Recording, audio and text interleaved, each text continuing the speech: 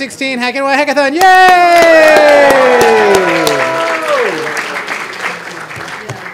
This is the 13th hackNY Student Hackathon, and I think possibly the most uh, populated with hacks, which means instead of saying everything I would say to you at the beginning now, we should just get this party started. So um, if we could get Wander and Gifify and Alter Remainder and Combat over here, thank you very much, to get ready to demo all your stuff.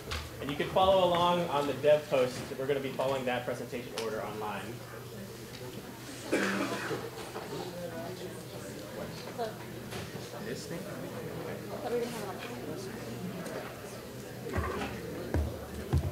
All right. Uh, we are going to be doing or- demos in the order they are listed on DevPost. Um, Chris has announced our first three teams as they come down. Wander, Wander, Gifify, Alter, Alter, Remainder, Remainder, and Combat. Combat. Uh, head on down. That's how we're going to be doing it the whole time. I'll call the next three teams on deck so you can get all ready to present. We're going to be going extremely quickly. Um, so when I call your team name, please come down this side and wait. Um, so we'll be extremely strict about our timing. This is Nico, our timer. He is very strict, and he will be, he is, and he'll be chasing you off the stage. Eric.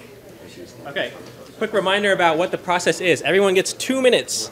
Two minutes to to to bre- present. Uh, Hannah's gonna gonna call you out if uh, if you go overtime. Nico, hold up. We'll hold up a 60 second um, reminder. Nope, that's a Other time way. up.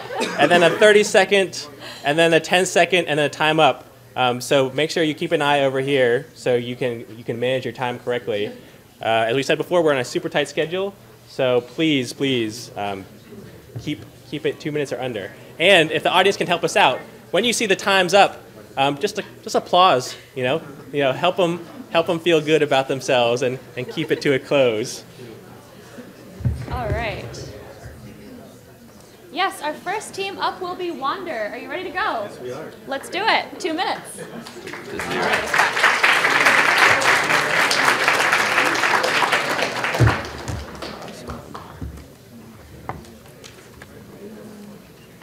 Type in your password.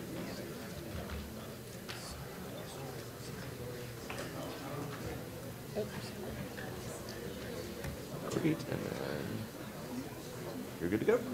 All right. Uh, let's restart the service. You're good.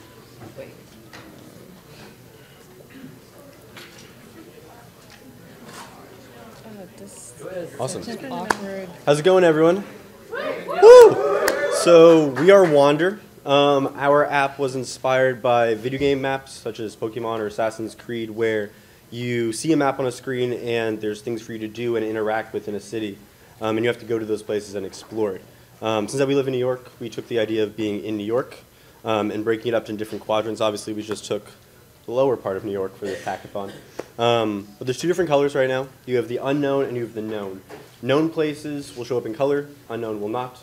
Uh, if you haven't been to someplace physically, it won't be able to see what's going on there, anything about it. You have to go there to see what it is.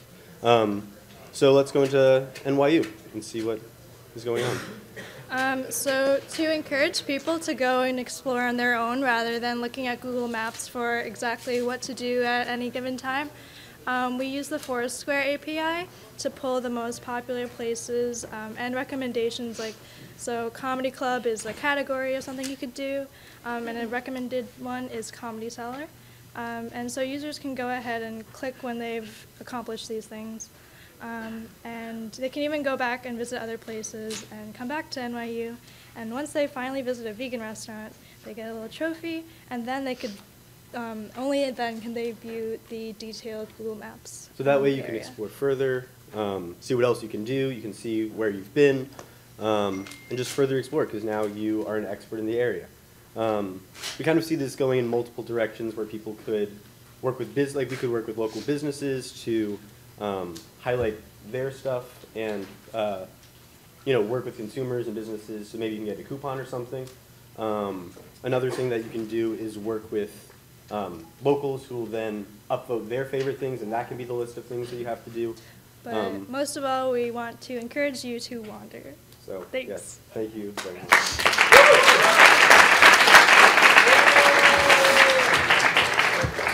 Next up is Gifify.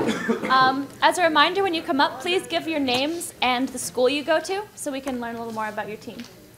Gifify, you ready? Who's on deck Behind them are Alter Remainder, Combat, and then Next Stop. If you are on deck, you should be lined up over here. Come on, line up down here. Who's next? Who's up Gifify. All right, Alter Remainder, are you next? Are you in the house? No Alter Remainder? Okay. Uh, Combat, are you here? Wow, all right. Uh, next stop. Good time. Going so fast, guys. Um, remembering to call parents or talk to friends. Yay. You are next. All right. After that, we have text to pizza, and then cryptor, followed by pillow brawl. Those teams, come on down this way. What should be the order that I talked about things? Um, you should just get right into the demo, basically. Ah, you're HDMI only? Mm, yes, you are. Okay, cool.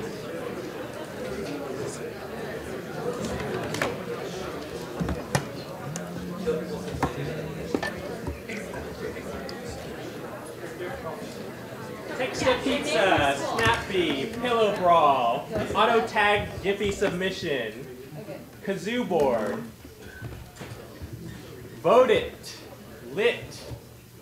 Come on down this way. If I if I called any of your team names, line up over here, please.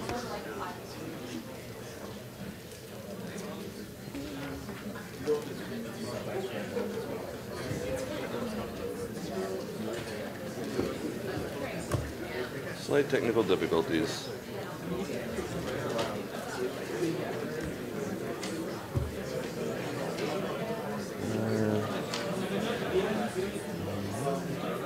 Hmm, The computer does not like this. You have a different computer you can demo on this thing? Is it available online? Okay, we're gonna work on that. We're gonna swap you out for whoever's next. You just wait over there and I'll work with you. Hey, who's next? Cryptor, are you here? Cryptor, you're up next. Cryptor. I love her guitar. Excellent. Followed by Pillow Brawl. Are you here? Raise your hand. Pillow Brawl. Come on down here. You're next. All right. Followed, followed by Auto Tagged Giphy Submission. Raise your hand. Are you here? No. Followed by Kazoo Board. Are you here? Kazoo Board. Wow. Uh, Stand over there while you're. Yep. Cool. yes, sir. All right. Put that down right there. Uh, vote it. Are you in the house? Vote it. Raise your hands. Vote it. Nope. Lit. In the house? Lit. Head on in here. Great. Awesome. Super. You're next. What's going on here? Uh, it seems. Oh, there it goes. Yep. Is that up there? There you go. All right, give it up for our next team.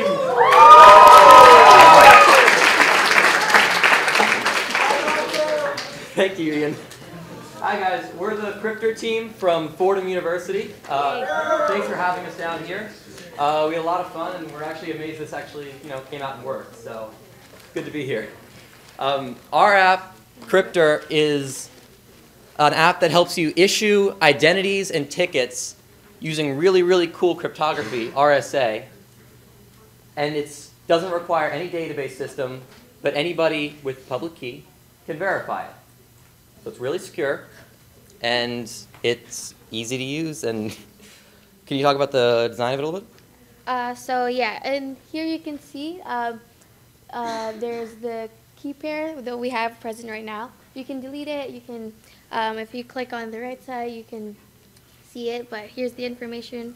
Load, load. Um, so is this connected here? Uh, yeah, it's showing up right there. Okay, awesome. So you're gonna sign it. Um, if you sign it, there's a signature at the bottom. Um, however, we're gonna be using Mm-hmm. a QR code. Yeah, so basically what we see this app for is um, you want to have these really secure identities, but they need these really, really, really big strings of text so that you can like verify that everything's real, you can verify that the identity was issued by you, that everything's correct. And so what you do is using this app, you can generate and then give the user a QR code, and then using the app, using Go to Camera, quickly scan it, and it populates for you the signature. And you can't really see it, but down below there's a little verify signature button that you can see that we are, in fact, Stephen at hackNY, and that we actually issued this identity. And if you try to change anything on it and try to verify, you're of course not going to be having, uh, not going to be getting into hackNY because you do not have a valid identity, you do not have a valid ticket, and that didn't require any databases or anything else like that. Thanks for listening, guys. Thank you. And uh, go Fordham. Next up, we have Hyperios. Are you in the house? Poem in your pocket. Come on down. Foodify. Come on down. Followed by Tin Cam. Come on down. All right. Right there. Up next is oh you. You are who again? Lit. Lit. Here we have Lit. Up next is so Lit. Okay. Yes, that's Great, you're good to go. that's the point. Okay. Everybody who's in line over here. You're in line on this side, please. Oh lol. I don't need to know my to-do list. Oh, Great. Got this. If you're in line, this side, please. Great.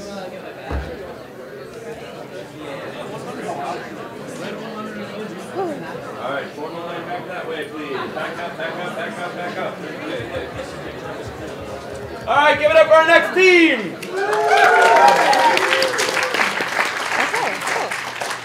Hi everyone, so my name is Dana and this is Uni, and we built Lit.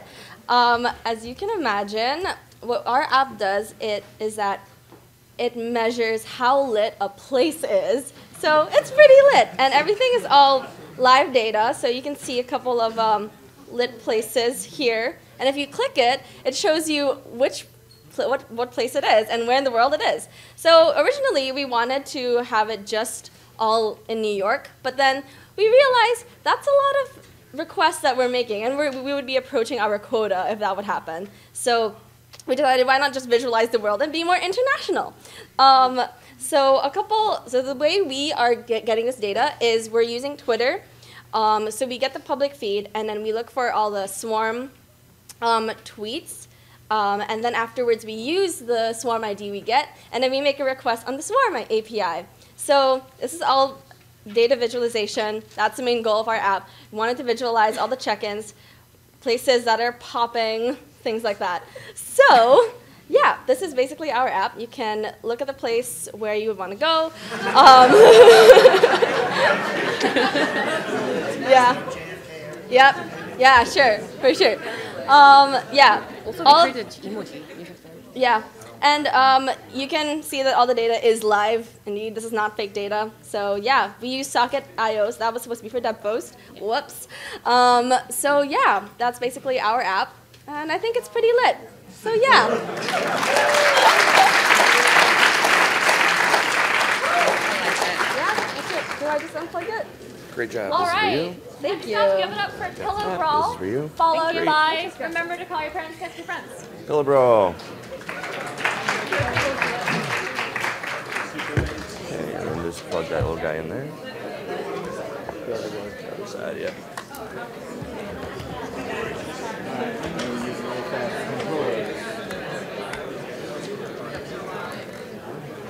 But Yeah. There it goes. It's coming. It's coming. And then do extend or do duplicate. Sorry. Great. We're good to go. Give it up for our next team. So, hi, I'm Andre. Uh, I'm a hacker. Uh, I was mentoring this year, uh, mentoring this year, uh, but also wanted to hack. Uh, I w- was on my way here yesterday, and I wanted to uh, come up with an interesting idea, has stuff to do with VR and somewhat IoT. And I happened to walk by this pillow event yesterday and see someone randomly fling a pillow in the air, but everyone was having fun. So I was like, you know what? Why not bring this fun to virtual reality? And hold up. Let me. Uh, I know we're short on time, but come on, Windows, don't disappoint me. How many of y'all saw the pillow fighting event in Washington Square Park yesterday? So, so how, yeah, how many of y'all seen the pillow fight yesterday? How many people were involved with it yesterday? All right. So uh, in 24 hours, I wanted to build something that was multiplayer, something that allowed you and all your friends to hop in, and y'all can all just play pillow fight all night, chat, get to know each other. And uh, I want to be able to uh, incorporate IoT in this in some way and try to bring real world, uh, real world hardware and bring it to a video game. Uh, and uh, what, pillow fighting was one of them. So this is the environment. Uh, you see, I was getting hit by a pillow, but with all that fun, you need some music, right? So we have a DJ that is a bunny rabbit, and he'll take all your requests, and you can be able to hang out and party and you know pillow fight all night long. So that is uh, that is uh, Pillow Brawl. Uh, I'm gonna be making the hack much better. Um, and I add more features, more characters, and uh, I'll keep you all in the loop later on. So thank you.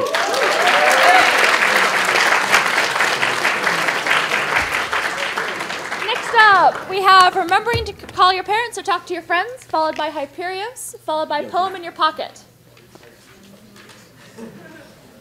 Come on down. Who's next? Nope, we're still working on technical difficulties. Who's next? Come on. Who's next in line? Step down. Come on. Yeah, there we go. I thought we had one before us. Okay, well, no, you're up. Okay. All right.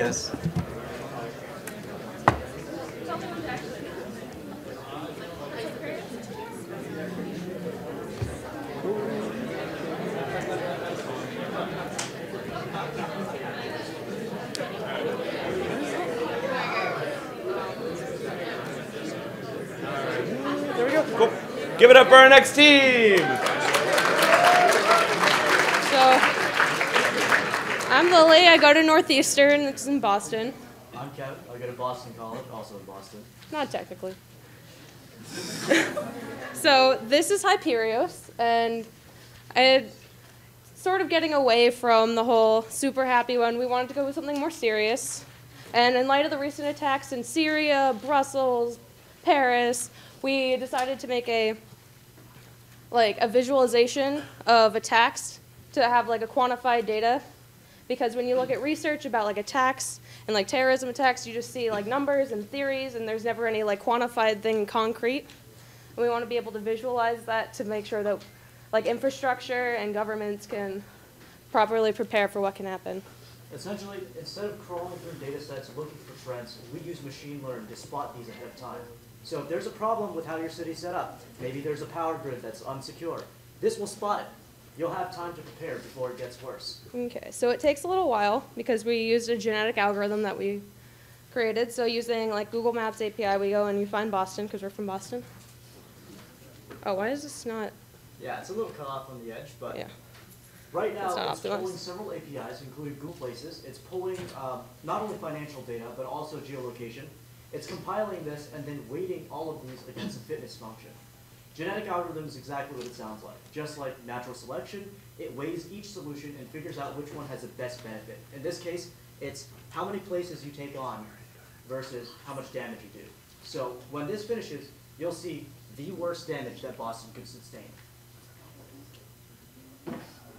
Okay. And, and- as it goes through, yeah. Oh yeah, it's a little cut off because the thing is weird, and it drops in each of these locations, and it adds hits onto here of where it's dropping, and adding the casualties at each location.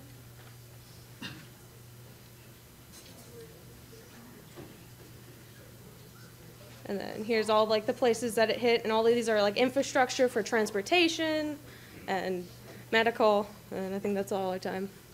But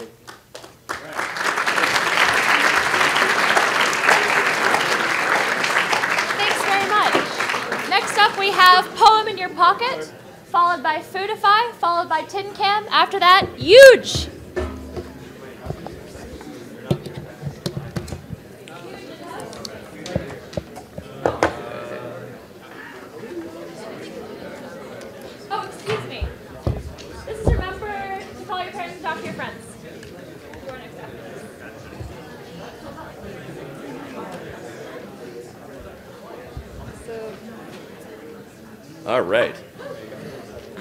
Give it up for our next hacker.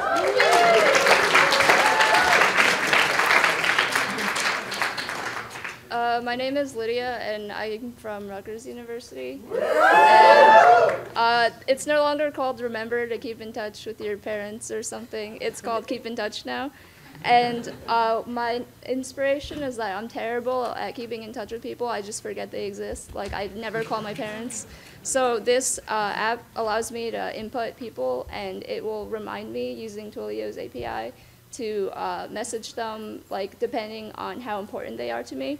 So like, like, so I log in, and here you can add friends, and here I already have people. Um, so if I click on mom, uh, I can I can delete her.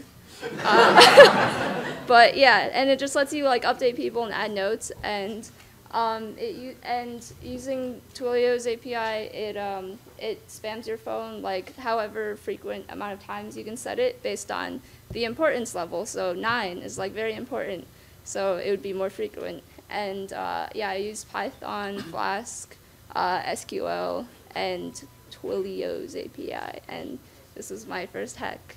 So.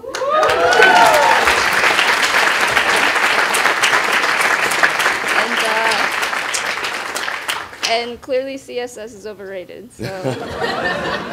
Amen. All right. In case you forgot, we do have a prize specifically for people who are doing their first hack, which is pretty cool. Next up, we have Poem in Your Pocket, followed by Foodify, Tin Cam, and Huge. After that will be Urban H2O. What are you looking for? Uh, VJ would work. Great. That. Hopefully the Linux drivers. Oh, it's Windows. Never mind. Windows 10. Yeah. Great. Great. Give it up for our next team.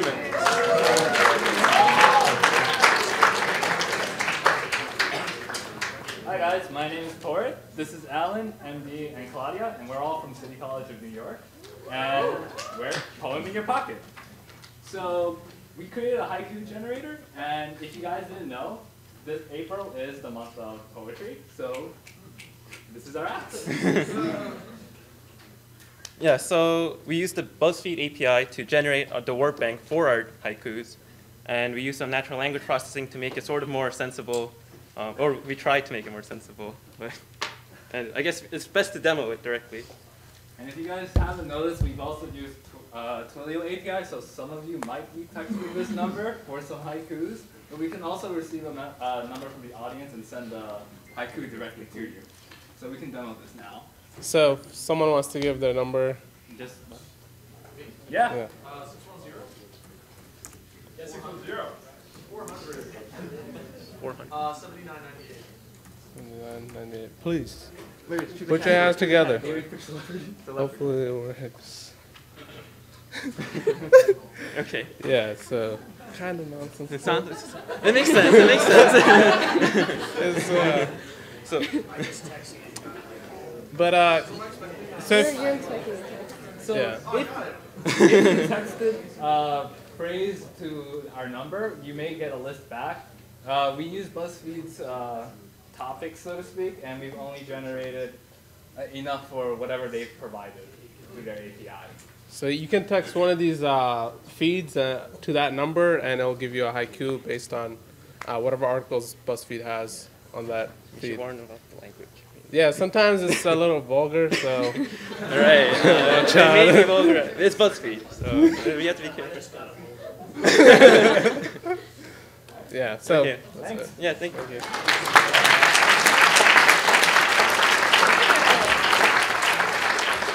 Up next, Foodify. Then Tin Cam, Huge, Urban H2O, and Pictorious. You around? Pictorious, then Make or Break. Head on over there. Not, it- not what I wanted. Yeah, here we go. Oh. Do you not have a display output?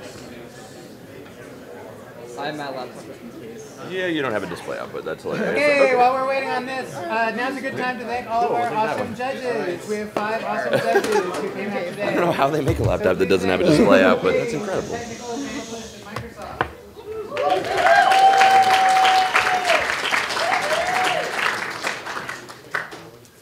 Please thank Courtney Irvin, who's developer at the New York Public Library.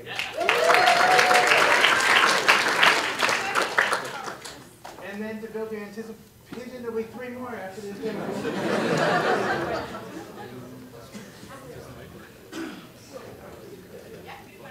All right. All right. Uh, hi, everyone. My name's Ross. I'm from right here at NYU. And my name's Michelle. I also study at NYU. And for this hack, we decided to look at something a bit unconventional. As we noticed um, with the rise of social media networks such as Instagram, everyone's discovering new food through photos. Yet, restaurant discovery is still through text, and that's very archaic. So we wanted to use Foodify in order to bring restaurant discovery into the modern era. And we did this both through a web application and a mobile application. So we're going to start with the web app first. All right, yeah, so this is just a screenshot of our web app. Um, and inside, we've inputted already an UR- URL of um, an image of sushi because everyone loves sushi. and um, so once you've inputted it, it would then generate a list of places nearby where you can get sushi. And then for our mobile app, we have a small video simply because we couldn't display it here properly. Um, apologies, it's not. There we go. So this is the app when you open it up. You have the option of picking a photo directly in your phone, or you, like what's going to be shown here, you can open up the camera and take a picture of something. So for example, a coffee cup. And then once you take that picture, you can select to use that photo and send it, and it gets sent to Clarifai and Foursquare's API to show all the areas in your location with coffee. So we'll pick Think Coffee, my favorite place. It will show you a map when it's open, and you have the option of getting an Uber ride. So you can hit ride there with Uber, and it'll bring up this awesome view with all the different Uber options, how much it costs, and how long it'll take to get there. So when you want to go there, you can tap one, bring you to the Uber app, and within seconds, you're immediately in a car for an Uber. Um, we're really hoping that um, Foodify can help bring the restaurant discovery industry into the modern era by allowing you to actually use pictures to discover restaurants like Instagram. And while these were just videos and they weren't live demos, we did have live demos, and I can guarantee you they work, but we weren't unfortunately able to show them today. So we really hope that Foodify can help some people discover new restaurants in the modern era. Thank you.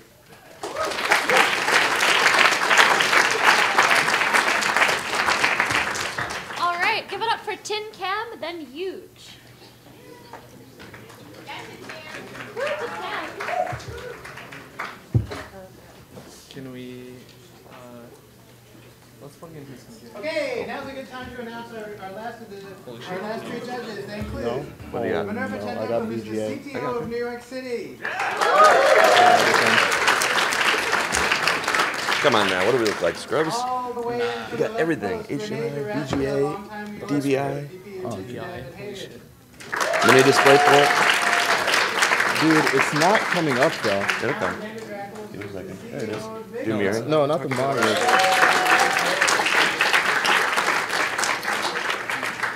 We good to go? Give us one second. All right, now's a good time to announce some of our prizes. Uh, one of our prizes will be Show off the the- best the developer test tool sponsored by photos. GitHub. Thank you, GitHub. All right. All right. We're good to go. I mean, It's fine. it's fine. What's good, Hack New Give a York? huge round of applause. Hi guys, we're uh, we're Tin Cam. Um, I'm Ben. I'm from Case Western Reserve University. I'm Nelson. I'm from Columbia. I'm Pat. I'm from Rutgers. I'm Claire. I'm from BU. So what we did is we built a Raspberry Pi camera inside of a Altoid tin can, and we also attached a camera in the front through a very discreet little hole, and we have a button. So the influence for this was um, to have a like a very low cost camera for people who are like in third world countries who want to get into like amateur photography, because it shoots in like 720p and also takes full video. This is like a really good solution. This is like $35 to make, so it's like fairly cheap. Uh, but then we looked at the further use cases and we realized that this is also really good if you like put it in your breast pocket. And like you can press record if you're feeling uncomfortable when you walk home at night or like you don't want police brutality to happen. So you want to keep people accountable. Because who watches the watchmen right? Um, so i was in charge of hardware. Um, i machined the case. I worked the Pi in which fit just right. I insulated everything on the inside uh, attached the camera and the button. So nelson here worked on the back end Yeah, I worked on the uh, Python script that runs on the Pi.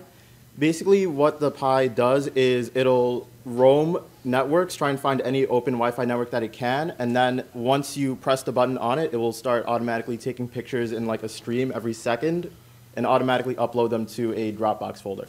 And Patrick and Claire worked on the front end, so you can log into the device via Dropbox. Uh, do you want to show it off? Yeah, sure. Yes, it's pretty simple, but you can just log in with your Dropbox and then hopefully you can start using the camera and then upload your pictures and videos. Yeah. So here's the here's the demo video that we took. It's like actually really good. uh, Yeah, there's just quality. no Is it sound, loading? but yeah, it's yeah. working. There's no sound capture, but like you get full streaming video. And then can you show off some of the like uh, the sample uh, The photos? photos that we took? Well, We're out of a blurry batteries, so we can't actually like take a selfie with you Yeah. guys. That'd be pretty dank. But We're so sorry. Yeah, we're really sorry about that. But uh, these are some of the sample photos. Whoops, that's me. They're really beautiful. Very attractive. Thanks, man. Yo, it's me again. Oh. And that's it. Thank you. Thank you. Thank you. Good job, Tin Cam. Next up, we have Huge. I love saying that. Huge. Huge. Everybody say it with us. Huge. Next, Urban H2O, followed by Pictorious and Make or Break. I got something for you. Hang on. Oh, hang on. Hang on. Hang on. Should I wait? Okay. Show pace. Show pace. Show pace. I think that'll work. Perfect. If- Okay. No promises, but we'll try. Okay. I'm just gonna mirror this. Ready? Wait, hold on, hold All on, Oh, okay. hold on. Oh, sorry. One second. Yeah, it's no, it's just multiple. wait, wait. So- oh, oh. Perfect. There you go. Thank you. Yeah. Oh. Oh. Ready? Hold. Nope. Hold on. Okay. One second. One second, guys. Uh, how do I make this smaller? Okay. Give me one sec. It is not resizing correctly. Oh. What's going on? Is it this? Yeah, it's not resizing correctly. It's not gonna resize. Okay, now's a good time to announce Yeah. another sponsor. Best domain name sponsored by That's not gonna domain.com. I need. Price Let me switch like switch to a different size. Give me one second. Good to go? There's one second. Nope. I'm gonna make it 5S. AWS, Or 5. Amazon Web Service, uh, price, one It's terabyte It's your resolution is the problem. That's a lot of bytes. Yeah, that's what's. And the best PHP, it's PHP. best, best PHP hack will be supported by Dato. And Ooh, that that would be good. the hack with the best understanding of the PHP language. Okay. So now I can fix that. Thank you. The best use of the Capital One's API, sponsored by Capital One, is 250 in Amazon gift cards. for each 250, member of the winning 250. team. So get a bunch of peeps on that team. There we go. Good to All right, We we're are. Wait, everybody say it with me. One, two, three. Huge. All right, everybody. So we are the huge team. I am Naeem. Uh, this is Tanya, and this is Jeet. We are all from Rutgers University. So, reppin'. So we thought, in an alternate universe, you know, given our current political fiasco that's going on, what happened if Donald Trump became president and he wanted to build a wall? So the app basically explores Donald Trump in like a Tetris Bejeweled sort of form, as like he's trying to drop blocks, and you as a player are trying to eliminate those blocks by matching up colors. And our design artist Tanya can tell you a little bit more about it. So we decided to keep it kind of classic and have an 8-bit, 8-bit-ish kind of design. So here we have an angry Donald Trump who's jumping up and down because he's ready to build that wall. So Right. let's hit play. All right, so we have multicolored colors. blowing the sky. So Notice the What background. ends up happening here is that you actually end up making money from this wall because you know Donald Trump's all about making money. So the more blocks you have lined up next to each other of the same color, the more money you win. That's over here on the side where it says scores. You can tell you a little bit more about the gameplay. Right. So Tanya's basically mostly gone over it. So basically, your goal is to move the pieces, and you can move by just swiping left and right. And you can. The goal is to get adjacent, uh, same the colors adjacent. So if you have like two purples together, two yellows together, that increases your score. And uh, in future ones, we want to actually make it more like Bejeweled, where like if you have three in a row, it kind of destroys that part of the, the wall. So it kind of destroys Trump's idea of a wall. And it this audio wasn't running right now, but actually in the beginning he goes, uh, he's like, oh, a small loan, a million dollars, and then like at the very And then he end, kicks if it you lose the game, he's like, you're fired, you're fired, you're fired, you're fired, and just doesn't end. Right. Yeah. So, also a little bit later on in the development, we were going to add like power-ups and features where Bernie Sanders would jump in and yell socialism, and then like break two rows of blocks and then distribute them to everybody else. But yeah, that's basically our app, guys. Thanks for listening. Great job. Wait, is this yours? No. Okay, great. All right, next up we've got Urban H2O. Yeah, thanks, man. Mhm. Then Pictorious, then Make or Break. Get it going. After that, we will have Interface. All right. Give it up for our next team. I'm Nicole and I go to Barnard. I'm Z. I go to Hunter. Now, Felipe, I go to Stony Brook. Our project is Urban H2O, and um, as many of you may have known with the Flint water crisis, there's been a lot of talk about accountability to politicians and making sure that people are aware of the water quality. Um, so Urban H2O is an interactive map of water quality complaints in New York City, and it pulls from um, the open NYC Open Data. So basically, uh, it shows you the points, and it and it shows you what's wrong with that area. Um, also, we were gonna add um, a report water issue, um, where you put your location. So let's just say um, you're in NYU, and then um, the water is uh, cloudy and milky. And uh, I'm not a robot, so I'm not gonna check that. So hit, hit submit. it works, and then that will now submit to our database. And this is what we pull from for the coordinates on our map.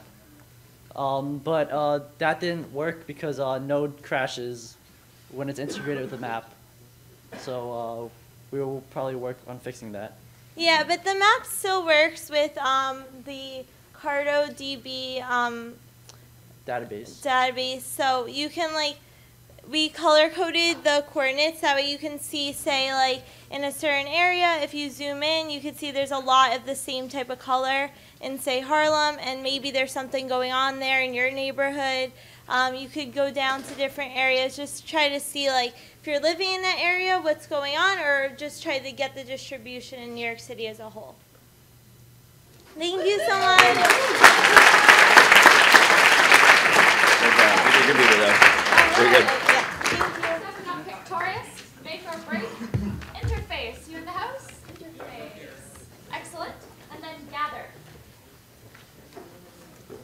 What's up, Hack New York? Uh, I'm Evan. I'm from Columbia. Jesse Gums, NYU. Colin Davis, Temple University. Uh, Rempe Collier, NJT. So we, uh, this is our first hackathon. We are so excited to be here and stoked to show you what we made. Um, I'm going to preface this with a question. Who's heard of like a Wikipedia race? Uh, for those of you who haven't heard, it's, it's a game where you log on to Wikipedia, you and maybe some friends pick a Wikipedia page and you click links. You try to get to a specific destination. You have to cleverly navigate your way through so you can get there first. That was one of the inspirations for this awesome game, uh, web game we made uh, called Pictorious. Somebody name a word, please. Oh, yeah. Jesus? I don't know about that. I think we need something a little. Generic. all right, potato. I think that's a little bit better. Vegetable, maybe? All right. So we, yeah, we start. We give it a GIF to start with, and we give it a word, and that's our starting point. And we have URL at the top. We can now give that URL to any of our friends, and they'll go to the exact same rate. So you can start at the same time. See who gets there first. Uh, from this GIF, we use the uh, the Clarifai API to get some keywords, and use those keywords randomly to get some related GIFs from Giphy. You then have to choose your path through the related GIFs and make your way to a GIF which matches the keyword. So you have to cleverly make your decisions. so you got, you got a house going on here. You got to try some high level thinking that you can navigate your way through. Uh, oh, oh, we're getting close. We're getting Hold on. close. We got some veggies. Uh, it looks like it really wants to give us corn. All right. We're getting close. Oh, goodness. Maybe. We're getting there. We're getting there. Clarifai's pretty good, I have to say. Yeah, yeah, yeah. No mistakes, really. Yeah. I don't know audience choice. We're almost out of time. so we're gonna show them the video. All right, okay, okay. So, If you finally, if you finally make it, uh, it'll tell you you won, and then you get to see your results, and you get to see your entire path. all-time record right here. Thank you. You guys can check it out. Go to pictorious.racing.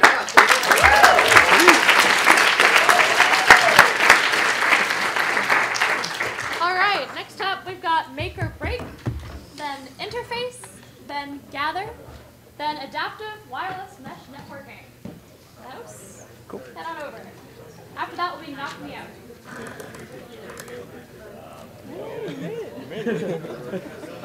My laptop died. Hey, you made it. Yeah. Wait, it died? Yeah, yeah. That's why.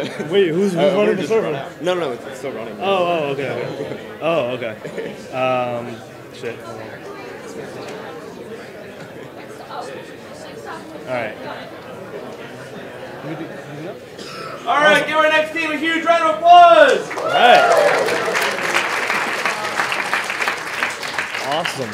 Hey everyone, my name is Jay, and I attend the uh, I attend NJIT in New Jersey. Uh, I'm Bill. I attend Cambridge University. I'm Neil. I attend uh, NJIT in New Jersey. I'm Raisa. I'm from NYU. I'm Saurabh. I'm from NJIT. We're really excited to talk to you about Make or Break, which is our app that we worked on this weekend. Now, the, the, the really exciting thing that we wanted to try to do this weekend is not necessarily make something um, insanely complex. We actually wanted to try to go for scale, and we wanted to build two clients along with a RESTful API for our application uh, and, and demo it for you today. And of course, that was a huge challenge for us in 24 hours. Um, but along the way, we learned a ton of really cool stuff, and we're really excited to show you what we got. So the, the idea behind this, or the premise behind this app, is that college students generally tend to break things when they're either messing around or just generally might end up having broken things around. So we thought it would be really exciting to make an app where you can post requests to, to your friends around you um, and ask others to, to fix your, you know, your devices for you, whether it be broken laptops, a faulty refrigerator. Um, so these are, these are um, uh, you know, uh, things that have been posted by other folks around me. I can click on it. Unfortunately, our UI is a little shaky right now, um, but you can check it out. You can also chat with the individuals. Um, we uh, worked on a, a, uh, a, a Firebase um, uh, Firebase uh, real-time system so that we could uh, chat with folks, but unfortunately we actually only have um, the one client to show at the moment. Um, you can also edit tags. Oh, excuse me. You can also edit, edit, edit tags based on um, what you're most interested in helping with. Um, and finally, you can look through the different um, tasks, whether it be ones that you've posted, ones that you've, you've claimed to help, or just all of them in general. Um, really quickly, uh, just going to introduce Bill to talk a little bit about the back-end infrastructure that he worked on. Yeah, so basically how we did this was we matched um, the uh, we matched people to the correct uh, tasks by using NLP to process the text, and we used Clarifai to process images that people might post, and then we matched these tags to uh, to each other. And we use Capital One API to yes. Next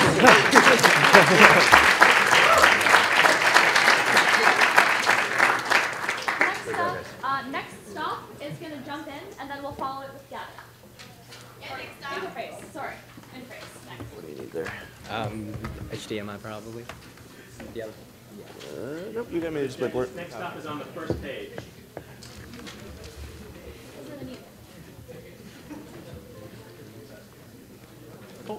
Mm, yeah, great. Okay. Um, so, uh, my name is Lee Yun, and I'm from Stony Brook University. Uh, uh, I had two other people uh, who actually registered for the event, but they just kind of vanished. Um, so, so it's just me. Um, so my application is called Next Stop. It's a travel app um, that uh, determines your destination based on the uh, pictures you pro- um, provide in, in, the, in the application. And uh, if you click the Next Stop button, it shows it goes to um, a uh, API provided by uh, Foursquare, and then I will bravely enter a temporary email, and then I will type my password, awesome pass one, and then I log in. So it changes. Woo. Um, and you click the button, it loads. It goes to, to a zoo because my pictures are full of animals. Actually, not really. This is the prototype, prototype of a prototype. Um, it's not doing what it's supposed to do, which is um, using Clarifai to, anal- uh, and to analyze your um, uh, to analyze your pictures and then generate a bunch of tags, and then it go uh, it goes on to um, uh, uh, gives you recommendations. But right now, my um, it looks like uh, it's doing the right job, but uh, it's just uh, I give it uh, provide it a um, random numbers, and then it just gives me like a random search query. Um, but anyway, I think this idea is great. I just don't have the skills to do it in such a short amount of time. So this is a button that, that I implemented. So yeah,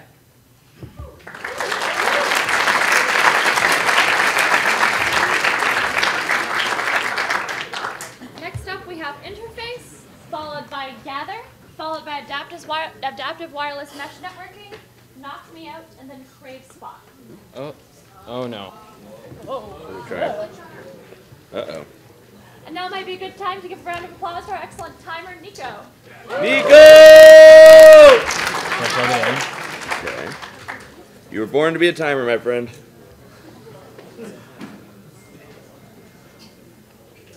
Are you using a watch? Like, how are you uh, this mentally? sucks. Oh, yeah. One, two, three. Oh. Here, go into it. Okay, here, well, I think we only have, okay. Okay, now's a good time to announce some more prizes. The best first hack will receive 200 US dollars. Woo! We're good.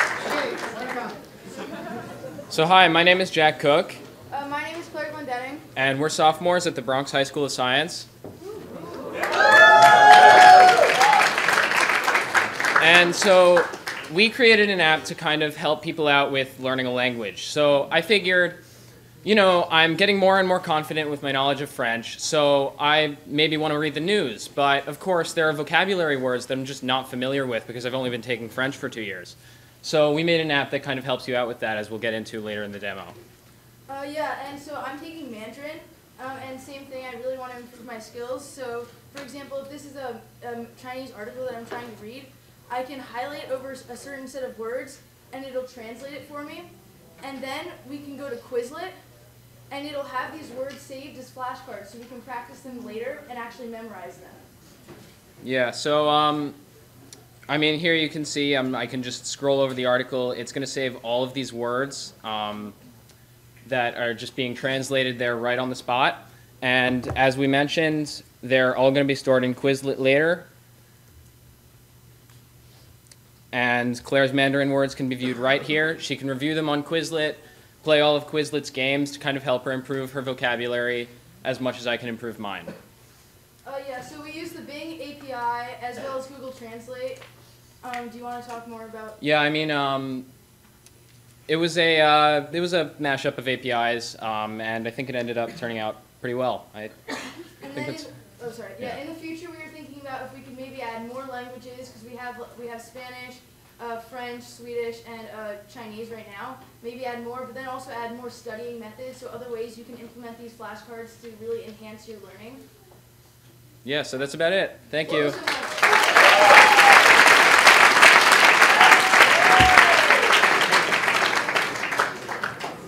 All right, next up we have Gather, Adaptive Wireless Mesh Networking. Sweet. Knock me up. Mm. All right, and Hang on Crank. Spot. Crank spot? Crank Spot.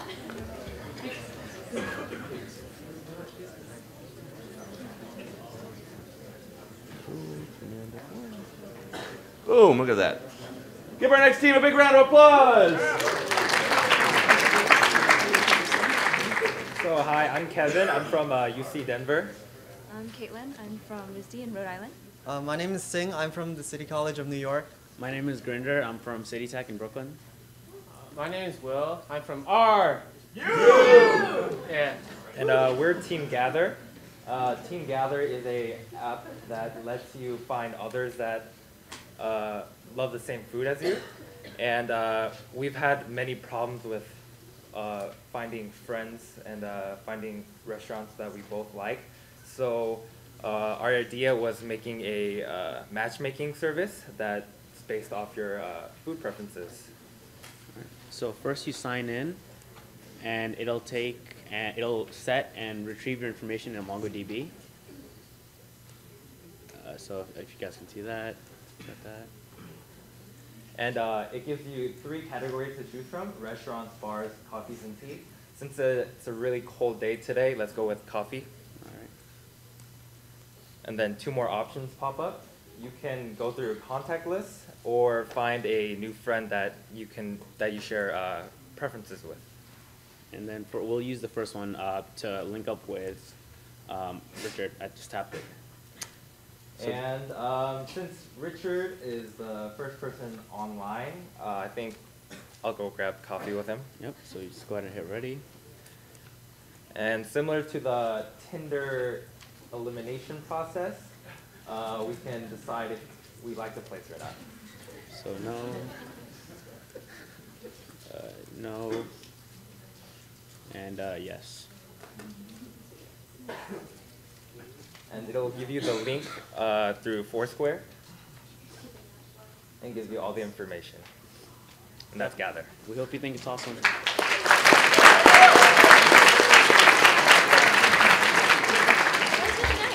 That's really nice. Next up, we've got Knock Me Out, followed by Crave Spot, then Beacon. Beacon, are you here? Awesome. Head on over. Um, Dial VG. Another VG Am I on the other pronouncing that right? Um, you head up as soon as this next group is over.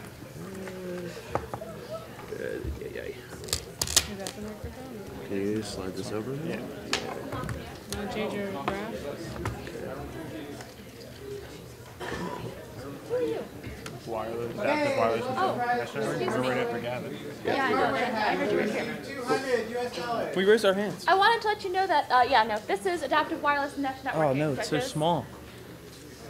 Yes, we're all good now. Okay, no The screen res is so small. How do I get? Uh, Windows. All right, you ready? Yeah. So we're adaptive wireless met networking. My name is James Navino. I'm from Temple. I'm Doreen. Same. Um, so our project is we took OpenMote uh, TI CC2538 uh, SoCs, which integrates with 802.15, which is a wireless standard for low energy. So what we did is we took the TCP IP stack in Contiki, which is an IoT OS. We modified that and implemented on top of that a wrapper for RPL routing. So we implemented a mesh network that can adapt on the fly. This is really important and interesting in emerging technologies because standard, standard wireless technologies aren't adaptive in the sense you lose your router, you lose your internet. Whereas mesh networks can adapt. So if you lose your router and there are other devices within that range, they can connect to the other devices and pass the information through a multi-hop system. So I've actually spread a few devices throughout the crowd. You can actually see this in real time transmitting the data um, between the devices. Number four is actually the IoT uh, tunnel that's actually taking the data from those devices, tunneling it through my PC onto the wireless. That data is then transmitted to Azure IoT Hub, and then for the graphical thing, it's built on Plot LI, Plotly, I guess, and it uses a webhook to get data from IoT Hub, takes it, and then plots it onto your graph. So, like we said, so the applications of this are pretty broad. So you see a lot of applications in this for like smart cities, for infrastructure development. You see a lot of applications in this for smart cars. So you put one device in every smart car you're putting on the road, and every car can now communicate with each other, making them much more robust, much more resilient. They can use this information to rely on different traffic patterns. They can do smart traffic monitoring, and they can do uh, adaptive control for weather handles and traffic patterns and stuff like that. It's another integration of IoT devices for big data. Thank you. Great job. Really great presentation. All right, next up, Knock Me Out, Crave Spot, Beacon.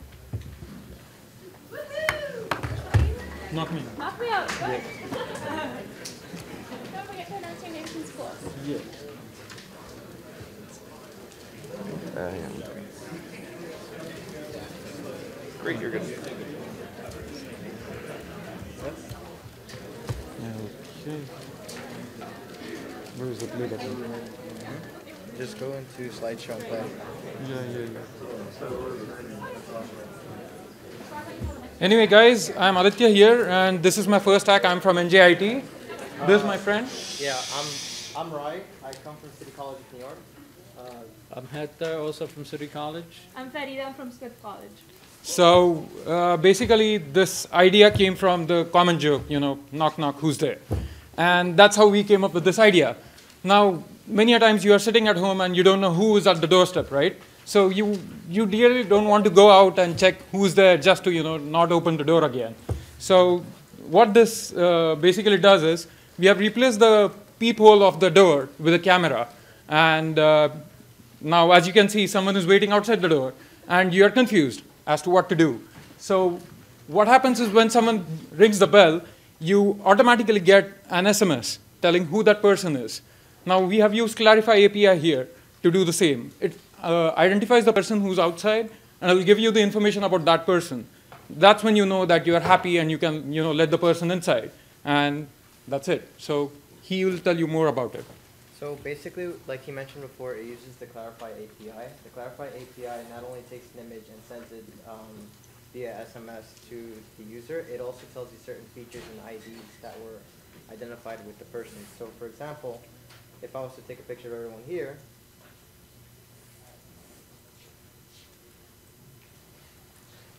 it'll send him, for example, a text message as well as, for example, some features if you would like Yeah, to say it. yeah. So it only tells me that someone's there at the door because it only can see many people around. But because we haven't fed all your information here, it doesn't know who you are, so it doesn't tell me what which person exactly is there. But if I had fed all your information in there, then it would have told me who exactly it is outside the door. That's it. Thank you, guys.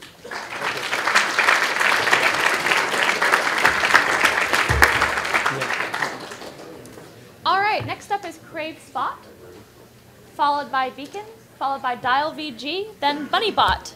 I've been watching this one come together. It's gonna be crazy.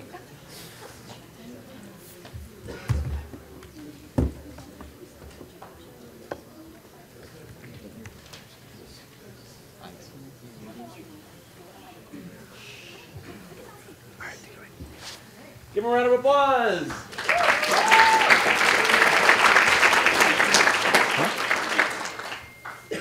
All right, so my name is Jack. He's Ryan. She's Ruby. We're all from Stony Brook University. Give it up! So I'm sure you've been in the same situation before. You're out with your friends, you're walking, and you want to go get lunch.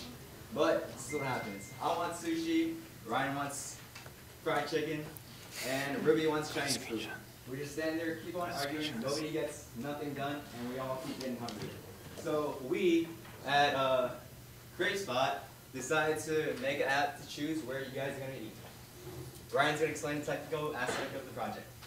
Uh, so it's an Android app currently. Uh, we plan on porting it to the iPhone in the future.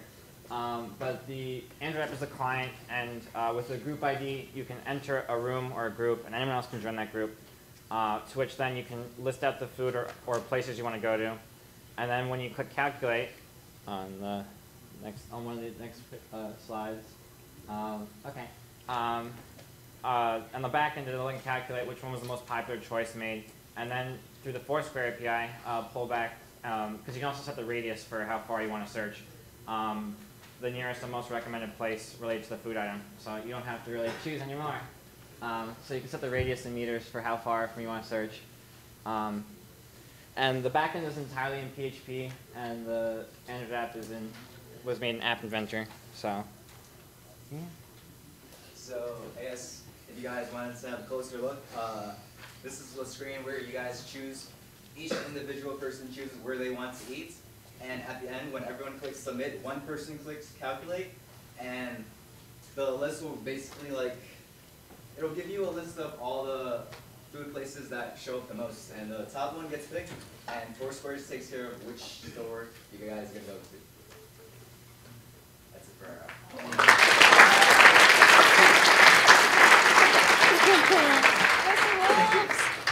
All right. Next up, we have Beacon, Dial VG, Bunnybot, and then Pokeface, followed by States NY. Uh, it's gonna work. Um, okay, so take a second. All right.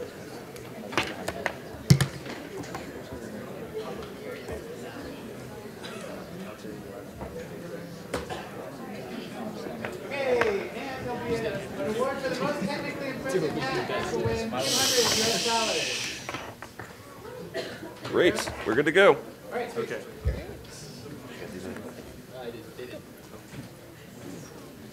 Yeah, just extend. All right. Hi, everyone. Uh, I'm, I'm Taylor. This is Amy, Zach, and Chris. We're from Hofstra University. Uh, it's our first time at hackNY, so we're very excited. Um, so today, what we have for you is called Beacon. So Beacon's a location-based app, um, and it's basically meant for people who are, you know, sitting around. You don't have anything to do. You're sitting, looking at Instagram, Facebook, seeing what all your friends have been doing. Um, in, in this case, it's a location-based app where if you're doing something cool, you can place a beacon, and if someone comes within a certain radius of that beacon, they get a push notification on their phone saying that you're nearby, you're doing something cool. So we've made a Android app, which you'll see uh, demoed really quickly later. Right now, I just want to show you the RESTful API. We have three endpoints to uh, create users here. So these are hosted on AWS, and then we have a cloud instance of MongoDB. Um, and the connection is not private because it's self-signed. But basically, I've just entered a user named Bob, if you can see that up in the URL, with his coordinates. So now we can do other things. We can have Bob place a beacon. And beacon, uh, has already been entered, so he failed on that one because he can only have one beacon at a time.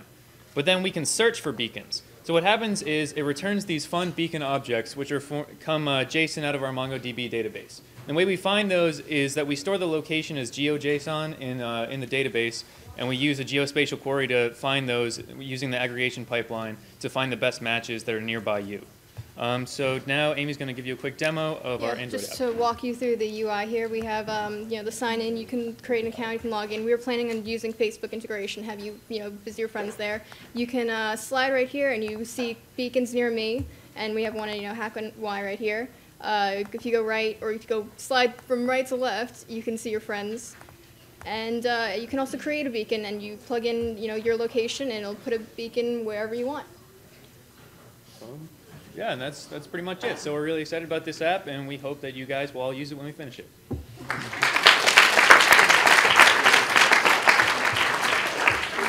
Alright. All right, next up we've got Dial VG, BunnyBot, Pokeface, Nathan Y, and Joe. Any of those here? Yep, we're coming. Heading on down there. Great. Yo, come on. Okay, while we're waiting on that, there's also, you know, hackNY all about New York City. Uh, we have an award for the best Oh, hack Vixia using said New York that. City Credits API, and that is also 200 US dollars. Uh, one second. Also, an award for the best hack design, recognizing design skills. That will get 200 US dollars. One more second. Overall, the most technically impressive hack will also be awarded 200 US dollars. Good to go?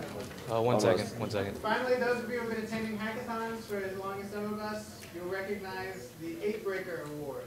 The Eight Breaker Award is an award to recognize the most unusual hack. You can check out uh, that's uh, Renierson's um, blog post, the eight kinds of projects you meet at hackathon. To read more Great. about what we're looking for not to have there. And we're gonna go. All right. thanks. All right. Okay, so um, my name is Shahan. I'm really into game development, and usually at hackathons, I mostly use like Unity for my hacks, but this time I wanted to do something different. Um, uh, what it boils down to is basically you can use your phone's keypad to control a game. So I'm completely just using my keypad, and you can see Mega Man's running. So I'm gonna hit three, and it'll take me to this screen, and I can hit eight to go down. I'll open it up in a second to everyone else, but I'm just gonna test this out, and then I can select that. I'm just using my phone. And then here, so I can move around, and by using, if anyone calls that number, you can control the game too. And so call that and use those numbers to control anything in the game. And you guys can select, uh, select the stage.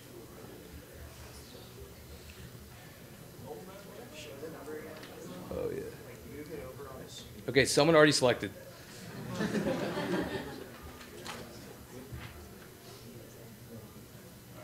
All right, so five is fire, which I assume a lot of people will be doing. Cool, I'm not even doing anything. So if we all hit six, you can go to the left. And I'm just gonna load a state of. So if everyone just fires, don't go right, don't go right, go left.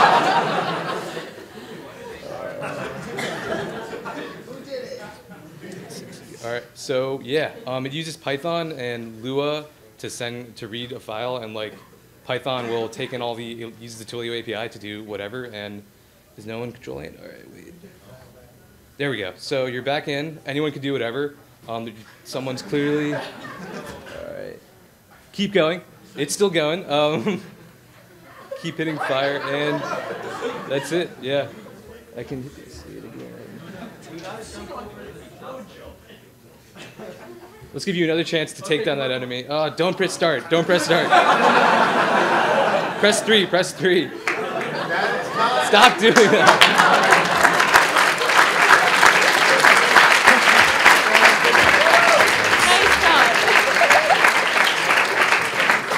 All right. Next up, we've got the infamous BunnyBot, followed by Pokeface, Safe NY, Joe, and Remind Me. All right, BunnyBot. What do you need? I mean, what do you, what does input do you need? Hang on. Uh, just a project. Yeah, I know.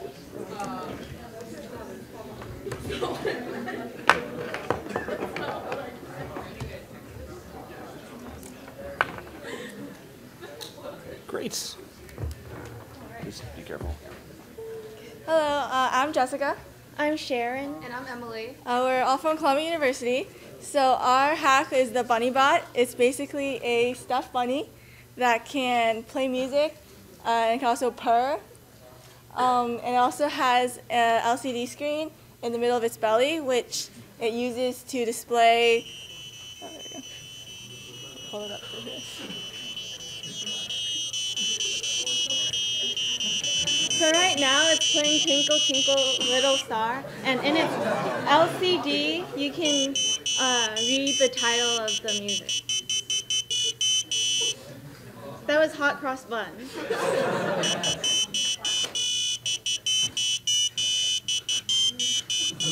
And that's Happy Birthday to you. A little messed up. And then last one. Ode to Joy. Let's see if we get the purr to work. Yeah. Yeah. And we also have a purr voice, but that's kind of hard to access because Yeah. it's in the nose. So we have like touch sensors inside, but um, I think there's a little bit too much stuffing, so it's a little bit hard to activate. Um, Do you want to hear it from here? And it's supposed to be a cat, but they didn't have cats at Duane Reade, so. I don't think there's sound.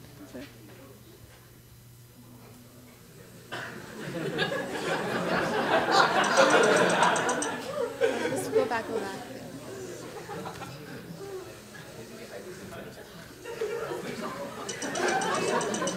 It says. Thank you. So basically, the way we we can stop it out. So the way we see this being used is kind of as like a toy um, that can play songs and maybe even like read stories. Um, and originally, the, what we had wanted to do was to have some way of having somebody using the Twilio API to text a message and then having it being read on the bunny stomach. Um, but unfortunately, we couldn't get the Intel Edison to work, so we just thank you. Thank you.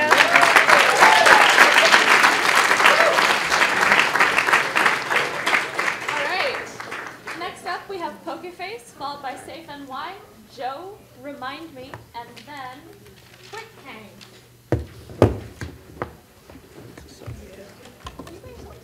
Yes, I am. I'm forever alone. Correct. That's fine. All right, you ready? Yep.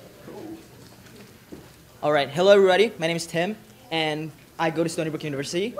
Go Seawolves. So, for this hackNY, what I wanted to do was try something that I don't really do much or at all. Actually, was to do an iOS app. So uh, I got inspired by Snapchat and most importantly their filter system, which I thought was really cool. And so I wanted to do something that's similar. So the idea is basically, so it's kind of like Snapchat. You have like the image, you can take pictures, but what it does is a when it gets to your face, it, it can detect, uh, it, it tracks your face and it can detect where your face is. And what it's doing right now is actually using Clarifai to detect or to find your emotions that's on your face. So right now, if I'm steel, if I'm steely gaze, come on. yeah, if I'm a steel, if I have a steely gaze, I'm Onix. But if I'm happy, I'm Pikachu. Yeah, that's it.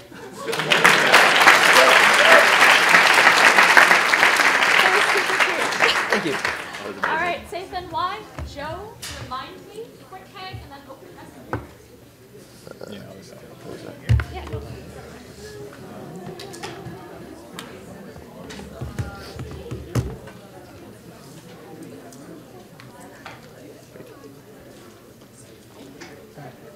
Hi, everybody. My name is Amit. I'm Varun. I'm Arpita. And I'm Phil. And we are from Stony Brook University. So, I kind of want to start off with a little true story that actually happened to me. I was in San Francisco. I wanted to get some food, so I looked up for some uh, Ethiopian food in Yelp. And I found a place a couple blocks away from me. And I decided to head out at 9 p.m. in San Francisco by myself. And a couple blocks in, I started realizing that the street I was on is kind of shady. This is not a place I want to be walking alone, especially by myself in a city I'm not even used to. And uh, long story short, I was basically chased down by a dog and some random guy down the street, made a complete 180 and went right back to my hotel. But this kind of experience got me thinking, like, why isn't there like an app that sort of gets the directions from point A to point B, but in a safer way? I don't want to be going through like alleyways just to get to my destination, which is why we came up with Safe NY. It's uh, using NYC open data. We found um, safer directions to get from uh, your position to your destination, and we'll show you a little demo. Um, so you can see right here, this is Google Maps and telling you how to get from where we are right now to the Empire State Building. And that is our, like our algorithm. So we, actually we scraped open NYC's data set. We got about, Yeah, so we got about uh, 100,000 uh, data, with, uh, which was mainly about felony incidents and crime uh, rate in the uh, NYC. So we merged this, uh, all this data and we kind of came up with a scoring algorithm as well as a routing algorithm to find the safest path. yeah, so basically um, we divided New York and uh, Queens and a few other boroughs into grids that are about 0.2 kilometers. And then we would take all of these different types of felonies and using our own ranking and our own routing algorithm. Um, we would find the safest path, avoiding certain areas which are prone to have more incidents. Uh, and so basically this way, you're not necessarily going to get there the fastest way, but you'll get there the safest way. And then at least you won't be chased down the street by a dog. That's it. That's it. Thank you.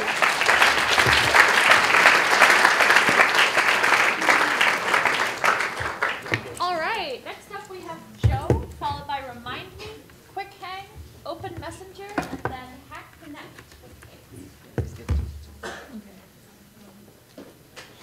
Sorry, can I get on the mic? Should I get this one? No, I just uh, reduce the size. Oh, it's- it's- it's- Yep, cool. Hello. Hi, I'm Joe, and this is Nomi, and um, our, our app, unfortunately, is also called Joe. So we're actually going to dive straight into um, a demo. So if you wouldn't mind getting out your phones, and the number 347-329-2374. Okay. Type in search buskers.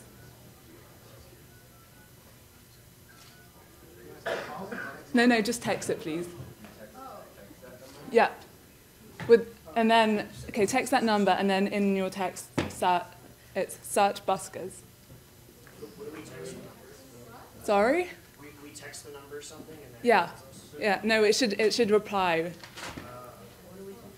What should we? Okay, text the number 347329, and in your text dialog box, Yeah. tap the words, okay. Wait, I'm. Did you, te- did you, did you apply play too? Yeah, Okay. Yeah, I'm. Oh, okay, great. So basically, if you never, if you don't have data or you don't, you don't want to use data and you want to search for a song, you would be able to text this number with the name of an album, a name of an artist or a song, and it, then it would call you back playing that song. I'm glad it's working.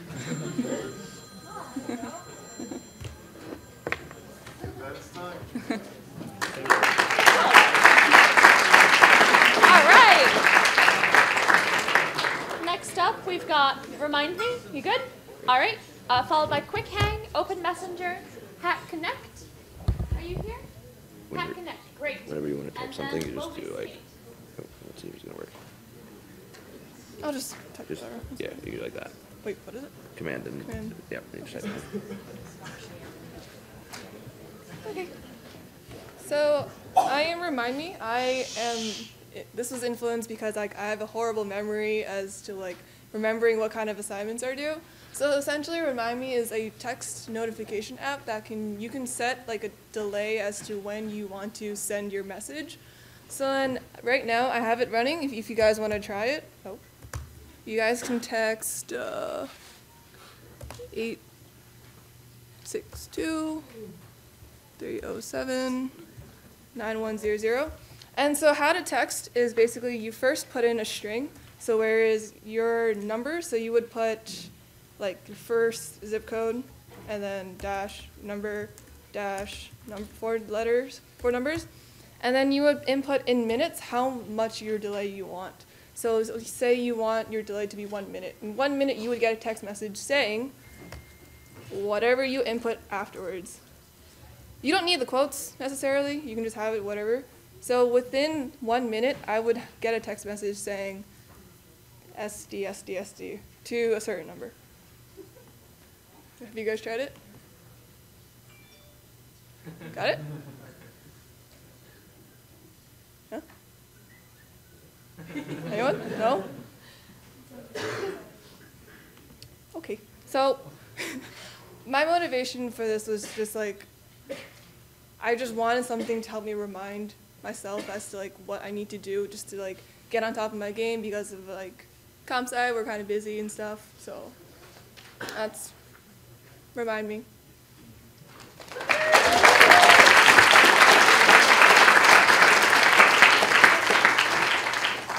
All right. Next up, Quick Hang, Open Messenger, Hack Connect, Moby Skate, and after that, Hacker Mech Showdown.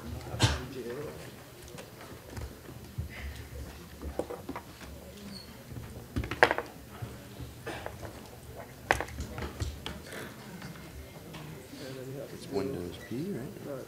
Nope. Nope. Not that one.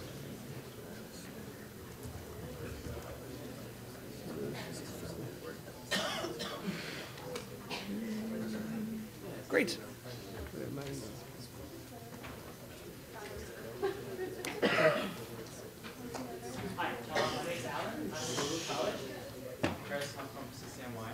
Norman. I'm from Brooklyn College. Uh, I'm Daniel. I'm also from City College. So for Quick Hang, we asked ourselves this question: What's the quickest way to hang out with your friends? Before there was an app that demonstrated that was a demo that talked about how they can, you know, talk to their friends about it. The best answer is that you don't ask them. You don't care. You assert your dominance. and we do so by using Foursquare to choose a location and Twilio to text them. Okay, so yeah, our app is a combination of, of APIs that's uh, meant to reduce down this uh, this indecisiveness, indecisiveness that we have amongst our friends. For, for example, here we have uh, categories that we pull from straight up from the Foursquare API. So if anyone wants to give me uh, an activity to pick from, food, okay. I can take one more as well. Nightlife, all right. and give me a location as well. York, okay. Then we click next, and then we're, and then we, we query the API, and then we get a list of locations that we can hit. And then this is also for the um, the people who are like open to try out new things. So you just randomly pick something that sounds slightly interesting, then you go select, and then we're gonna get we get the address United Kingdom. Okay, that's not correct. Put NYC instead. if you want. Okay, that's obviously a bug with the API, but um, so ideally now you have a play a place to go. Now you just have to hit up your friends, right? So it's gonna come from you, and then here um, I already have um, saved numbers. Um, I don't want to take someone's number because it's saved in my history, so you, you're just gonna have to believe that it works because uh, it vibrates. Um,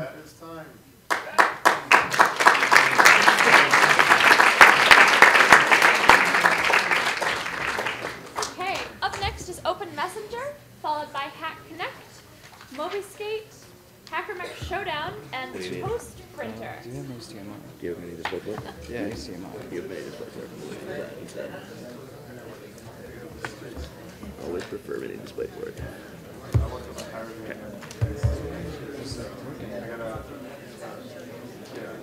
Great. Okay. Cool. Give a big round of applause for our next team.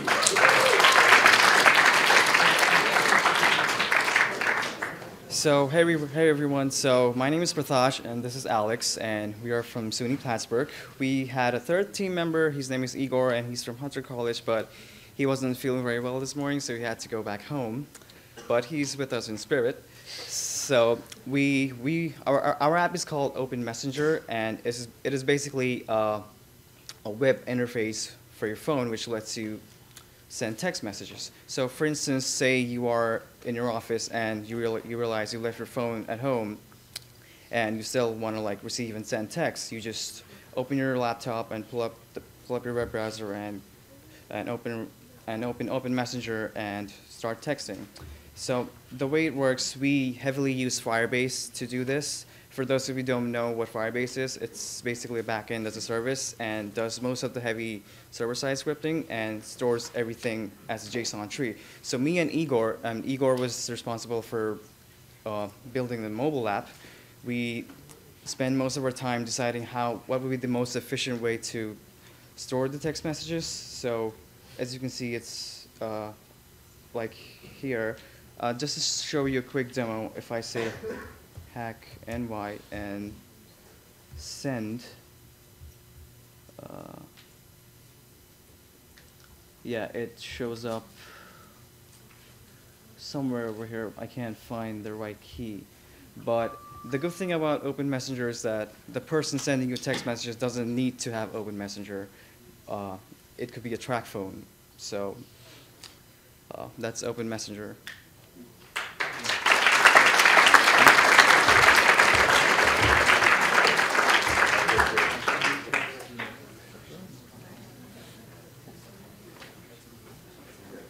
All right, next up we have Hack Connect.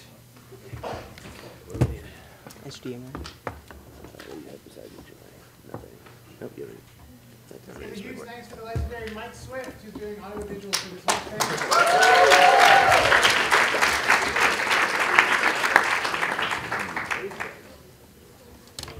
Mike will also be handling the prizes for MLH uh, while we're doing the judging round after the demos, so stick around for that.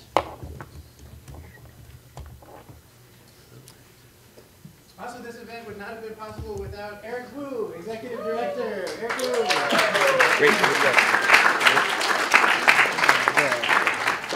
And also hackNY Program Coordinator, Hannah Payne.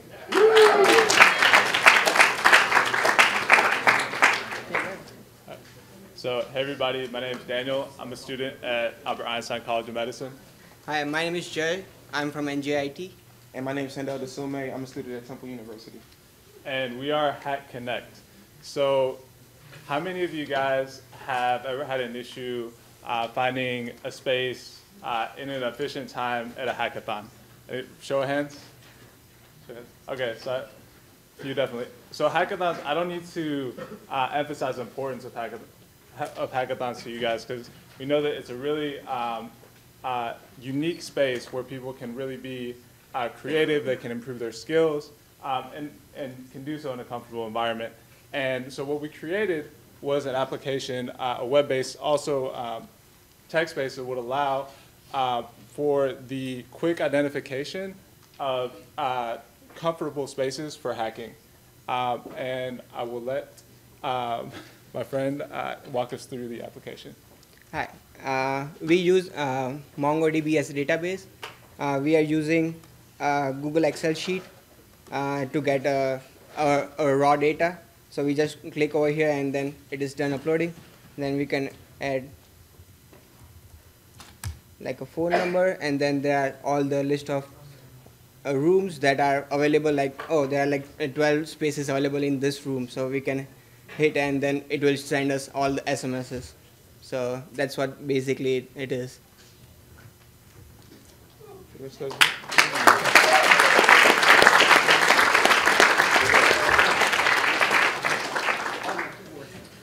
you don't need a keyboard. Oh wait, you do need a keyboard, right? Oh. I know, right? Next up we have Moby Skate. Guys, so I like two things. I like skateboarding and I like breaking expensive equipment. Uh, mostly my equipment. So the best thing that I could have come up with is a video game, well, a skateboarding simulator on your computer or you can use your phone itself. So it uses your accelerometer to actually like turn the skateboard. So by moving around, it moves around the Is my screen skateboard. dying? What happened? And you can also do it through mobile. So he'll eventually show you. Uh, we have a My computer looks website. like I think it's online skate dot Yeah. com. I don't know. Skate online. Do you want to plug in yours? Do you have a mini DisplayPort? Yeah. Yes, you do. Great. Keith. Cool. Sorry, yeah, my computer died uh, as it was plugged in, so it's a little bit of an inconvenience. Uh, Other side. Yes, there we go. Yeah. cool. So uh, open up like a new one of the desktop tabs on yours, and then I'll just take it from here. Great. Open up a Yeah. So yeah, you can actually see as I'm moving the board, I mean, my tablet, you can move the board on the screen itself. And it's really cool if you have like a cell phone because Yeah, you can open up- throw it in the air, you can do tricks I'm gonna refresh, okay. and spin it. Yeah. So uh, but I'm, not responsible if you break it. Uh, I'm gonna I'm gonna connect to this on my phone now, and I'll No, show. that's not That's actually. yes, it's good. No, oh yeah, you're right. You're right. You're right. Just go to let's. Sorry, we weren't. Uh, do you have your keyboard? Yeah, it's uh, it's let's skateboard dot online or let's skateboard online. It doesn't look like you're typing. No, I'm not. Sorry, uh, I don't think we were expecting that to use There we my go. partners. Let's skateboard. There it is, it's skateboard. Oh, there you go. Uh, My mistake. I am not good at stress. There it is. That's good. That's good. That's good.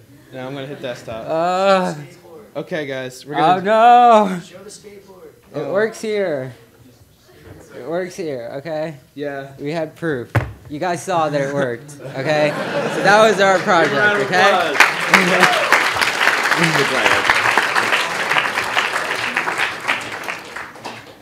All right. Can we get Morrow Peak, MRI scanner, pranker, and can I buy over here on deck, please? Up next we have Hacker Mech Showdown. All right. What do you need? Uh, HDMI on the side. If I don't have it, just HDMI or is it? Yeah. Okay. All right. Hang on.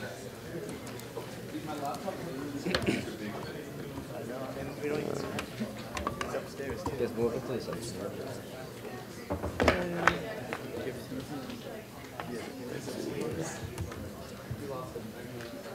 Great.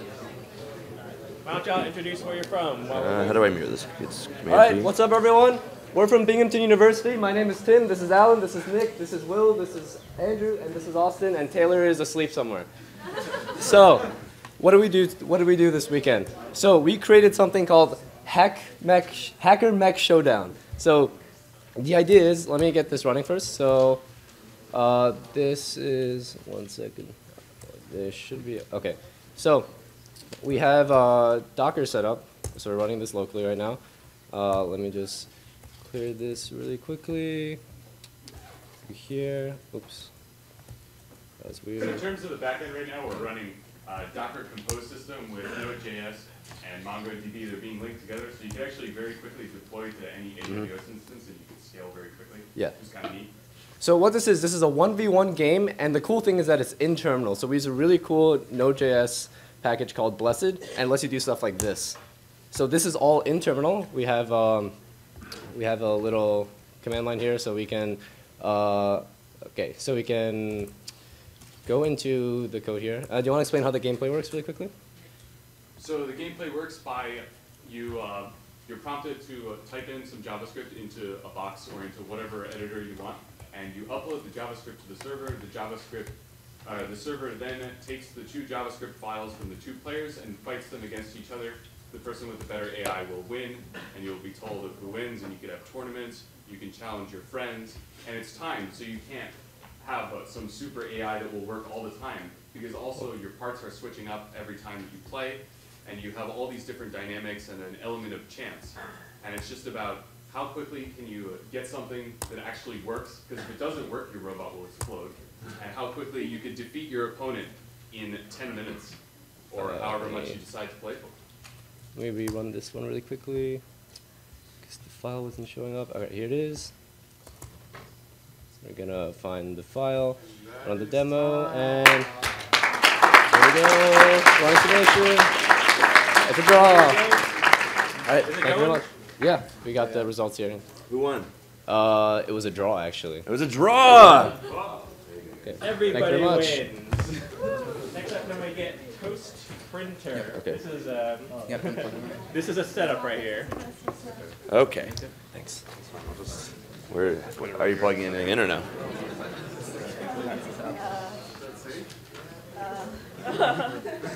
Are, are you plugging in or no?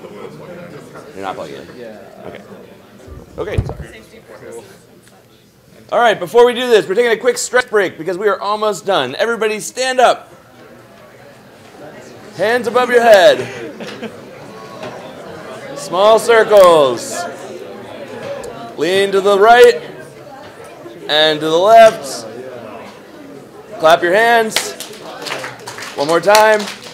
All right, take a seat. We're almost done here. Give it up for our next team.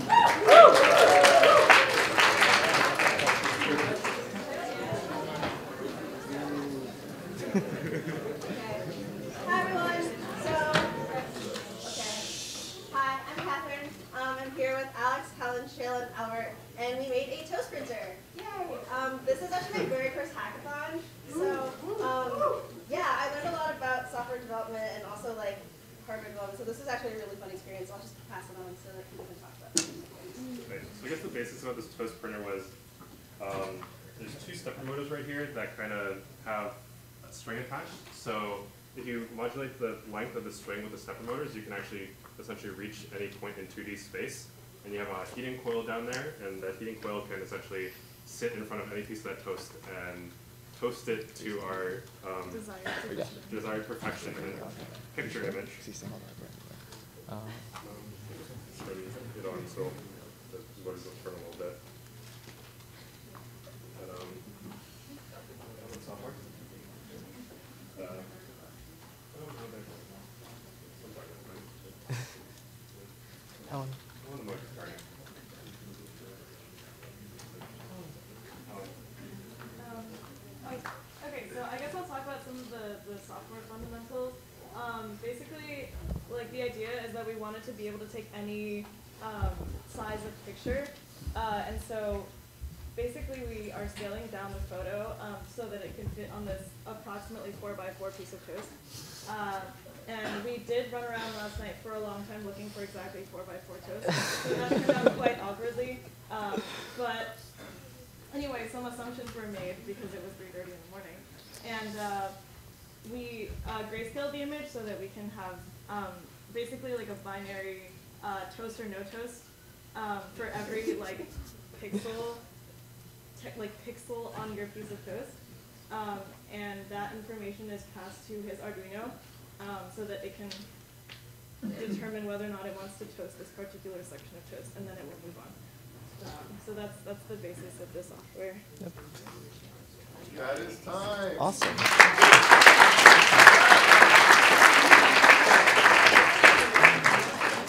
Wait, what do we do with this box?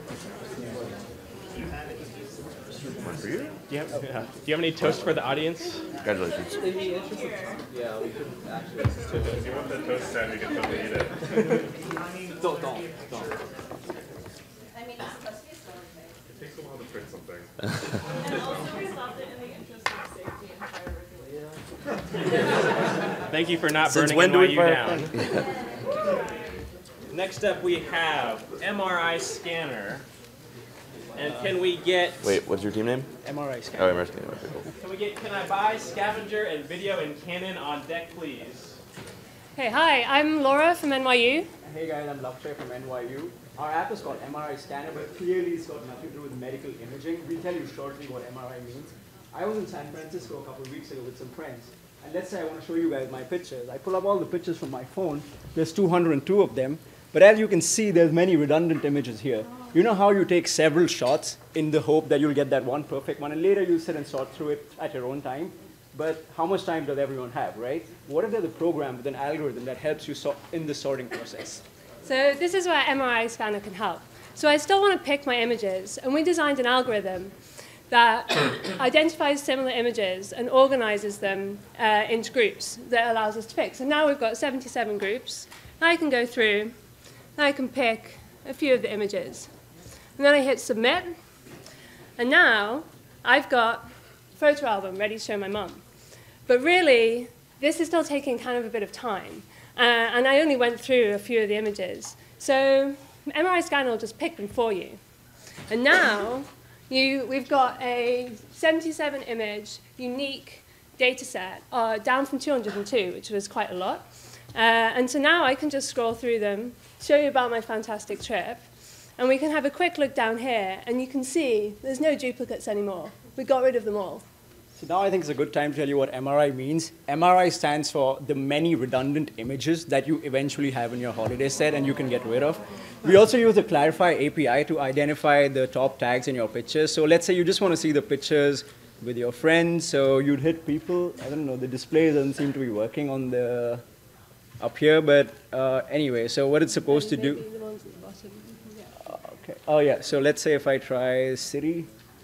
Okay. Yeah, it's I don't know. There's some issue with in the display up here. What it does is it's going to filter through the images. If I hit people, it's going to show me images with just people. And this was made possible using the Clarifai API. It doesn't seem to be working now right now. Sorry about that. But thank you so much for your time. And if you want to check out more San Francisco pictures, you can meet me later.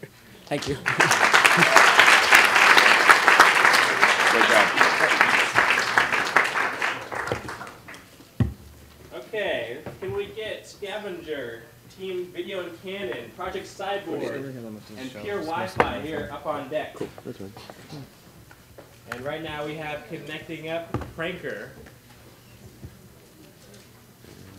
What is this? Windows P? Boom. Look at that. I'm Cool. good. All right. So yeah, uh, mine's Pranker, and uh, it's just a really small Twilio hack that like allows you to just uh, you know, so you get a phone number and you uh, text it to this number here that you can't see because it's hang on. Uh, this phone number right here, and if you text somebody's phone number to that number, uh, my app will call them and then it'll ask it like you know like a couple random questions like one is like is your refrigerator running? or like you know the one that I have from here is you know is this a Krusty Krab? like three or four times, and that's really all it is. So if you want to if you want to go ahead and try it out, I'm uh, I don't know. I'm gonna go text my Jay, my friend Jay over there. So uh, wave your hand, Jay. So yeah, uh, if I can get his number out. Um, yeah. That's literally it what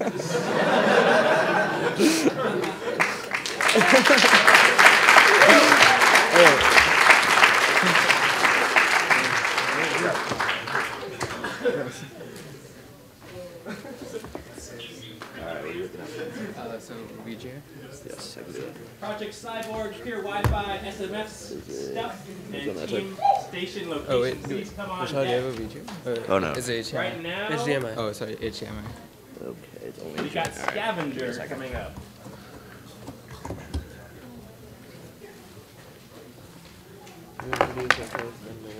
Move it over more. Yeah. Then at the end of Okay, while we're waiting, why don't we thank our gold sponsors, who were MongoDB and Wait, Quotidian you're good. Ventures. Thank you very much.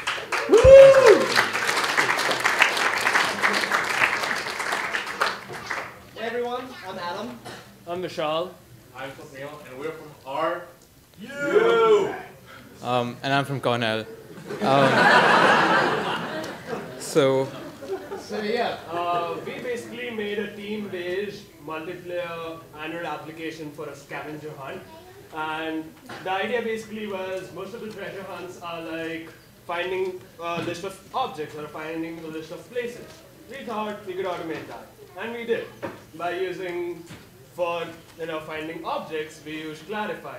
Find a brown cat. Okay, click a picture and you find the cat. And you find a, I don't know, a subway nearby, Foursquare check-in, and you find that place. He'll walk through the application. okay, so hopefully you can all see the screen up there. I'm sorry it's on the side. Um, okay, so the way it works is you, you enter a name. I'm just going to enter my name here. Um, and then you can either join a team or create a team. So it's, it's not a scavenger hunt in that you're competing against other people, you're working in a team. Um, so I'm just going to create a team here, uh, call it NY. Um, and the number of objectives, you can choose how many tasks you want. I'm just going to choose five over here. Uh, so it's coming with five tasks. Um, so I have to find a chalkboard, a Starbucks, a car. I have to find happiness, which is kind of tough. Um, and I also have to find a banana. So now, Okay. um, Uh, I, I think, can anyone help me find a banana? There's one right out there. I'm gonna try to find a car. See you guys. Okay. So he's connected. Chalkboard. Oh yeah, we can do the chalkboard. Yeah. Thirty Yeah. seconds. Yeah. Okay, chalkboard, chalkboard.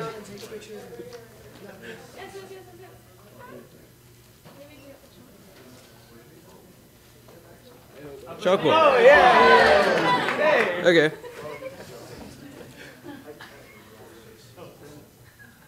I have no idea what it is. Banana. Okay.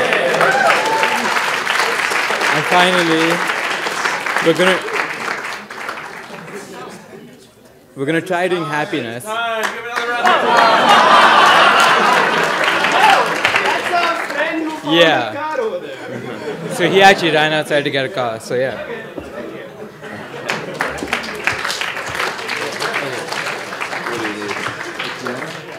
BJ. That was pretty good. They got three, three in like 30 seconds.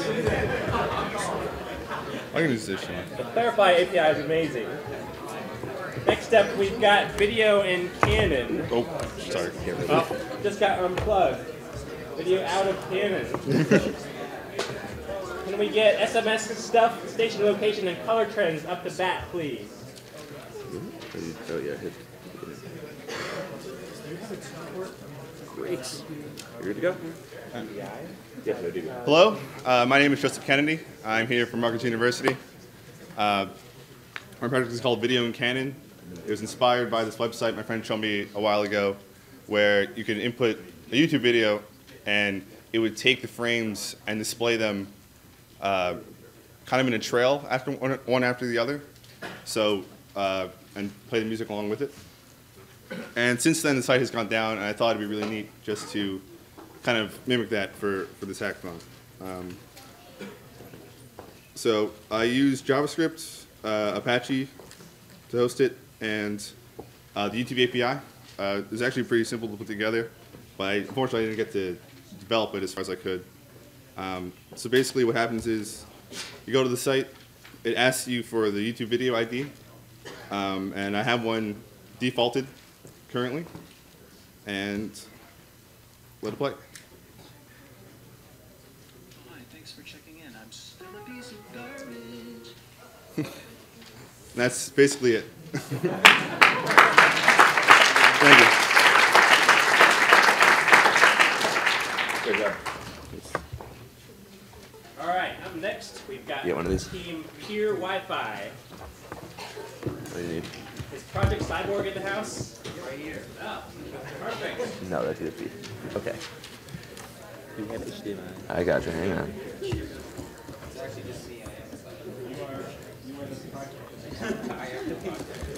Okay.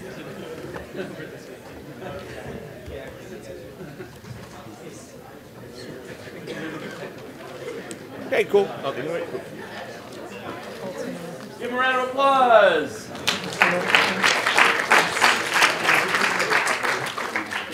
So, hi, my name is MD and I'm from Rutgers. New- I'm from I'm from Queen's College. Hi, my name is Tuan. I'm from Williams College. So uh, our group is Pure, Pure Wi-Fi. Um, the app is very simple. It's to uh, help you sell and buy uh, mobile data through uh, Wi-Fi hotspot. Why do uh, why we uh, create this app? Because we think that it's a waste that some people has like three gigabytes of unused mobile data every month, while some of us has to spend four bucks to uh, use Wi-Fi in Starbucks. So um, the app is very simple.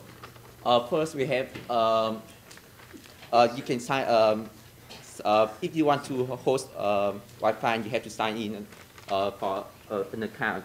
Or if you just want to use Wi-Fi from another hotspot, and you could just skip. Uh, uh, host, so on the right is uh, hosting. Uh, uh, for the host, it's very simple. You just enter the price and the time you want other to connect. On the uh, left, we have um, the client. You could uh, choose connect, and then um, it will show the, a list of all the hot, uh, uh, hotspots in uh, the area. Right. There it goes. Um, so um, and then we, uh, we click on it and we, we start uh, connecting. We use PayPal for uh, the, doing the transaction, uh, money transaction. Um, uh, after that, uh, the app will ask you to log into your PayPal, PayPal account and pay for the Wi-Fi usage.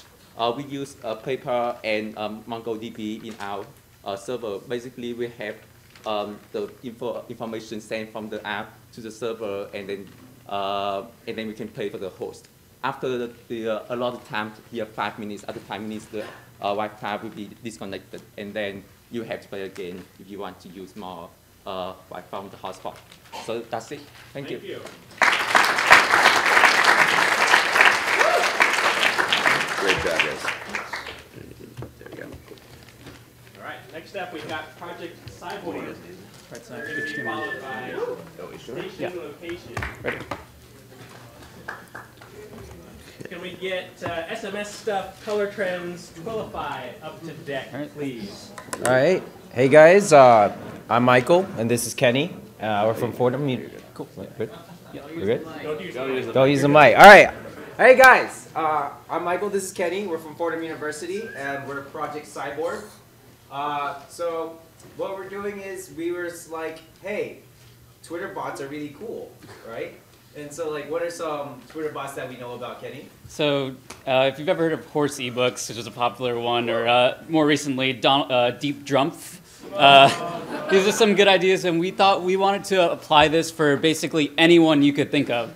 So, our app essentially takes any handle on a valid Twitter user and uses uh, Markov chains to, uh, to create randomly generated tweets, and you get to see what they would look like. So, for example, let's do a favorite like InfoSec Taylor Swift, and nuking population centers where Trump's bring back Trump is it the first result. And it's gonna continue loading them in like a live feed until you press that pause button right there. And then we could try another favorite, like say Kanye West, see what happens there. Because I never get enough Kanye West tweets in my life, so we needed more. And I will be. so, so, so the idea was we wanted to apply this for basically anyone you could think of. So a friend of yours or a popular celebrity.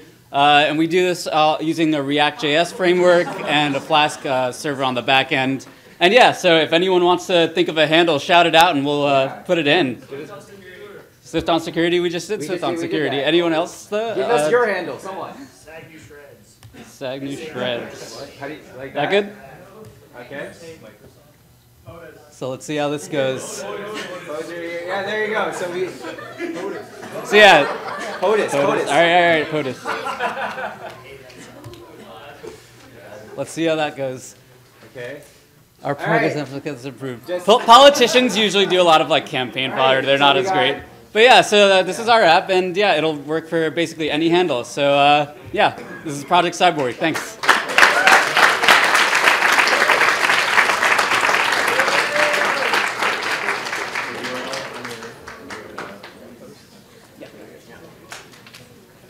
Yeah, check that out. The URL's on their DevPost. Next up, we've got station location. We can get Twilify in the mood for Hugh and team push or not to push on the deck, please.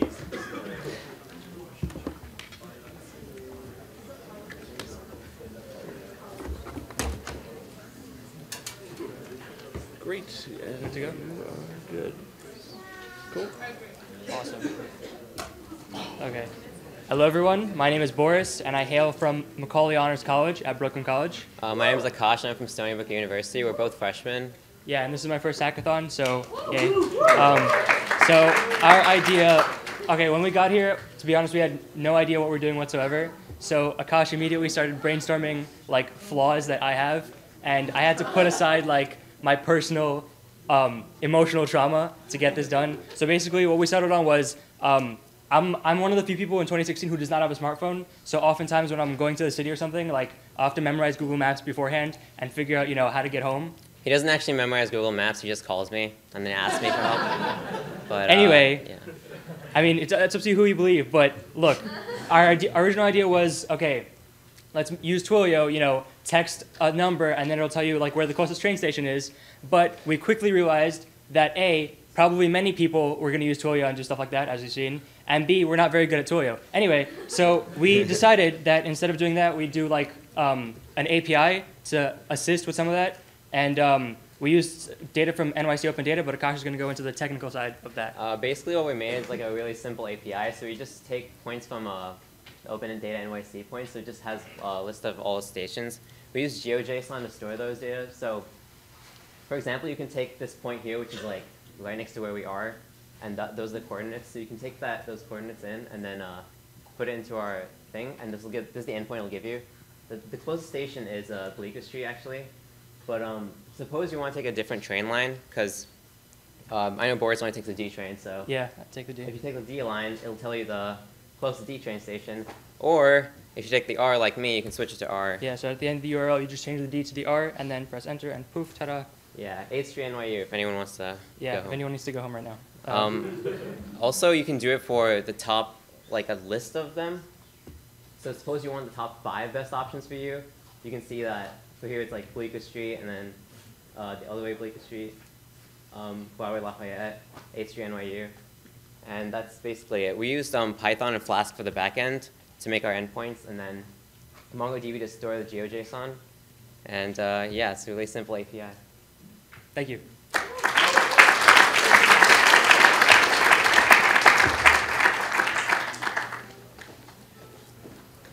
Thanks, guys. Next up, we've got SMS stuff. Yes.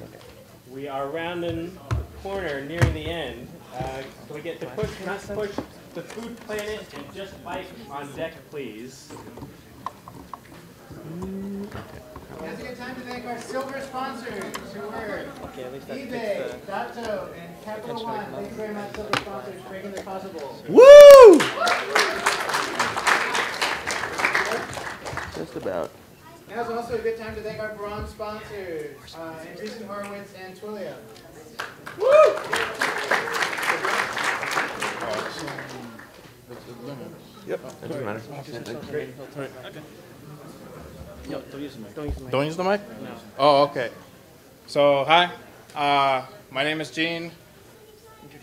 Introduce yourselves. Uh, I'm Diana. My name's Carl. I'm Paul. We're all from CCNY. City College of New York. And uh, we didn't realize that so many people would be using Twilio. Uh, but up there you'll see our text message service if you would like to check out what we did. Uh, it's, uh, it's a service to like skip uh, the, the customer service lines, uh, the choices. Um, you know, we added like a couple of Easter eggs that you probably should check out while we're standing here and talking. Check out 411 for a fun little uh, follow up to to Sam. Sam, Ag- I, I don't remember your last name, but but a little presentation, a little follow up to that one. That's 411, and 421 is a little Clarifai game that we uh, you know implemented in here. It's uh, it uses GIF uh, Giphy and then uh, uses Clarifai to like pick up some tags, and then you get to uh, guess what the tag of the picture is, and you don't get to see the picture unless you guess the tag, but it'll give you a hint. It's one of the tags. So check it out. That's it. The the thing is going to be down in like, you know, by the time we leave. So it's on, it's on the local host. So, yeah. Woo!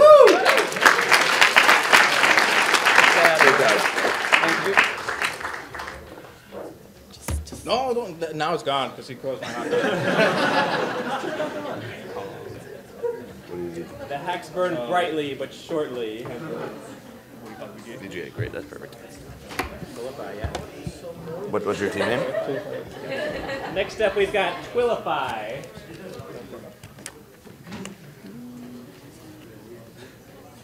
Now's a good time to thank our in-kind sponsors. Uh, many of you enjoyed Insomnia Yeah, I see. This is be- way better than the stream.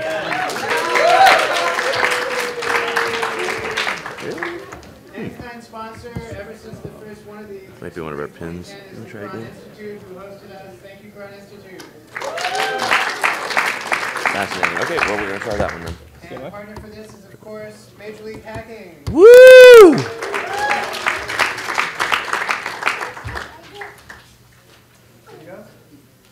Great. Hi, um, Ahmed. My name is Farhat, and we had Chris Hamburger, who's not here with us now. Um, so, we our project is called Twilify. Um, so, what does it do? Uh, you could receive a GIF, a quote, from texting. And you could do it by this number if you want to do it quickly. So do it as um you're sending a random tag like cat, dogs, Batman, Superman, Batman versus Superman. You'll get you'll get the GIF, like you would get it in um, Facebook Messenger if you guys have Facebook Messenger. And yeah, if you want to receive a quote, you um you type in quote, and we also have a joke option. You type in joke, you get a random joke. But for now, it's just the Chuck Norris jokes because that's all we have. And for the GIFs, make sure your tags are PG. Um, you know, there's other types of GIFs online. And we might add memes soon, um, feature for feature references. And want to say what we did? Oh, so um, basically we built it with Python on a, on a Flask framework. Uh, for the GIFs, we used the Giphy API, and for the jokes, we use uh, as, as well as the the quotes, we use other API calls. Um, and to be honest, that's simply it. Uh, we would like a few of you to at least try it and give us a thumbs up. If, And you could send the GIFs to your friends. And by the way, this is our first hackathon. We came here only knowing C++, but we ended up doing this in Python, which is great. So. Great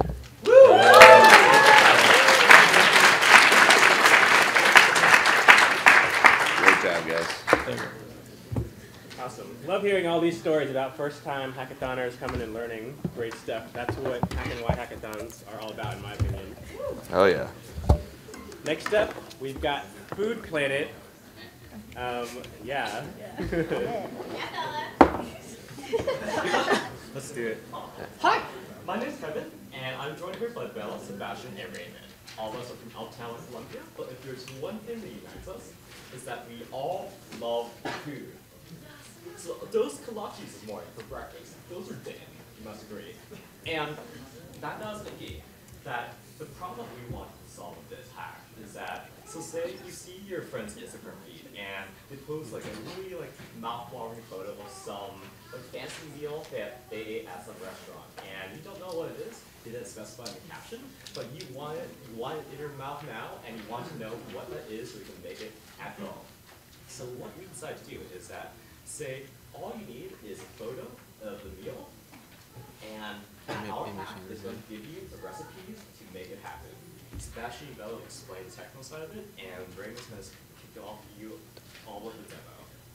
Okay, uh, I think you should like first do the demo just to All show right, people. so first we look for kolache, but technically we are not supposed to do that. You're supposed to just get it from your friend's Instagram or something, grab the image and put it here, and then go. Ooh, blotchy. Yeah, so the way um, this works is that we're using the Clarifai API. So what we're doing is we're taking that image as an input and uh, receiving a bunch of uh, tags describing, we're using the food model, so we're getting like tags that are describing like the ingredients and where, what kind of dish it is. So then we're taking those tag, tags and putting them, parsing through an, another API that is a database of several recipes, of like uh, 350,000 recipes. And using those uh, tags as queries, uh, then that API is returning uh, a bunch of dishes that could be what uh, you saw your friends eating. Yep, that's basically it. Thank you, and treat yourself to some food.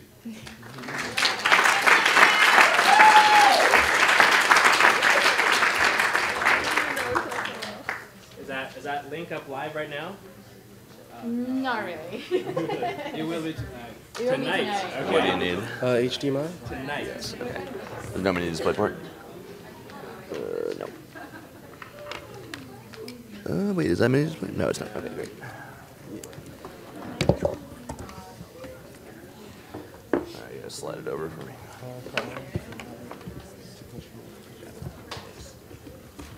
Now's a Can we good time to thank all the technical ambassadors, a bunch of people from the New York City tech community came and mentored students all night long.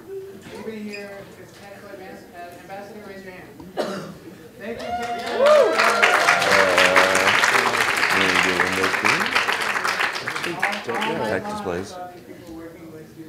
Oh. All night long here in person and also on the Slack, Do- like up into the wee hours of the morning. Uh, you guys are amazing. Thank you so much for helping Yeah. these students out, mentoring, being ambassadors. Uh, we love you. Wee hours. Anything else? Can we get drone regulator and Hmm. transmission protocol analysis engine up on deck? Good, now's a good time to talk about our Computer does judging not criteria. like Did we this. do that already? Our judging criteria. You might wonder if our judging criteria include hockey Yes, sticks, okay, it's addressable not gonna load. Can you, uh, No. Send me judging a link to criteria Google Hangout, is I'll plug my computer in. Okay, cool. Alright, swap out. Alright, who's next? Come on. Okay. HTML. HTML, After some technical difficulties, we are going to skip ahead to just bike. And if anybody else uh, is, is wanting a demo and has not, I have not called their name, please come over to the side here. You're good. We'll get you in. Just bike. Okay, so hello everyone. My name is Peter. I go to Baruch College. It's oh, Oh, yeah. Don't touch that. Okay. So I'm Peter again. I go to Baruch College. My name is Vlad. I go to Baruch College too. Right. Like uh, Just Bikes sounds like, we really want to focus on getting people out there and going bike riding. I'm sure many of you heard of Map My Ride. It's like a performance tracker, really focus like the speed and how your performance is on your bicycle rides. But we're completely opposite to that. We really want you to just go out on your bike, whether it's multi-speed, single speed, just fixie, just go out there and have a good time. So uh, Vlad and I worked on uh, Just Bikes. And uh, our philosophy was, like I mentioned, to get people out there to really enjoy, even people who don't bike, it could be daunting because there's a learning curve, like, oh, I need all these equipment and safety gear, which is actually really important, but I think a helmet is just enough.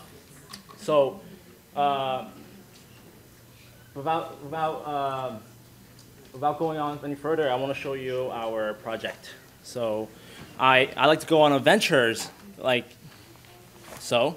You could you could choose from either being uh, extreme or or just a regular local ride. You just want to go out there and get out there. So I like to go. Uh, these are my favorite rides. We plan on adding more rides out there, different kinds of places to go.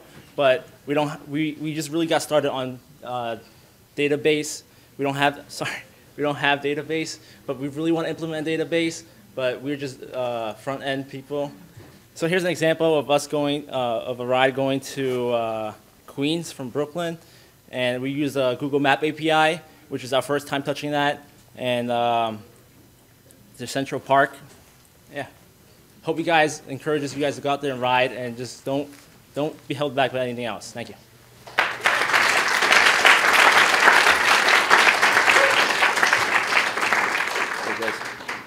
That's good life advice. Just don't be held back by anything else. Next up, we've got drone regulator. And after that is going to be Uh, no, not that. Can I That'll buy? Oh, Go- HTML? Yeah, go ahead. It might not work, but uh, does not like Macs. Oh, fascinating.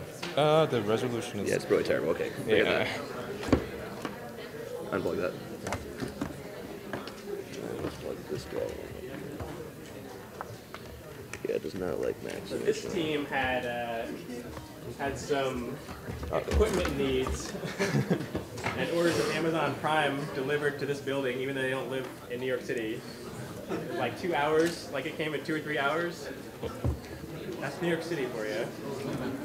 All right, we're in our last few teams. Give them a round of applause here.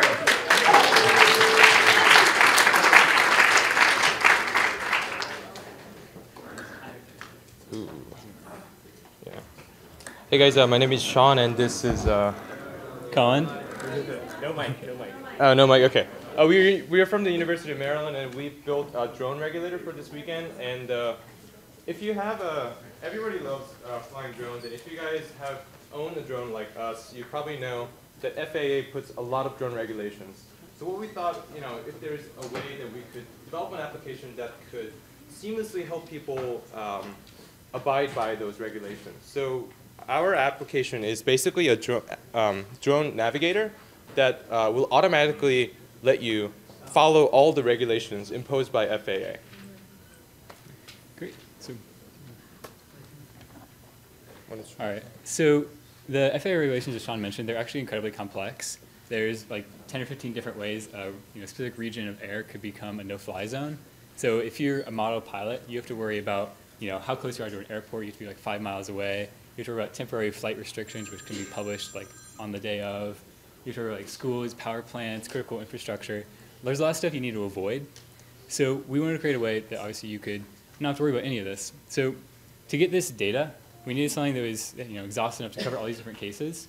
So there's nothing like that available yet, but we found an API. We ended up reverse engineering it. It's something that's not actually released yet. So we had to play around a little with their demo page and learn the documentation by looking at how they used it. Uh, and we use that uh, to map the data onto the Mapbox map you can see here. So all these different circles are different regions, uh, different like no-fly zones. You can see on here. I'm not used to your map. Sorry about that. Um, but uh, there's different regulations you see in the bottom left-hand corner. Uh, like uh, right now, we have uh, the GPS location, which we can't get because we're inside, just kind of moving on to random data points. So you can see as regulations will change depending on where you are. Uh, you can, there's different airports to avoid. There's uh, weather data we're providing. So you can avoid getting blown away by the wind into someone or any kind of dangerous situations you don't want to be in, like that.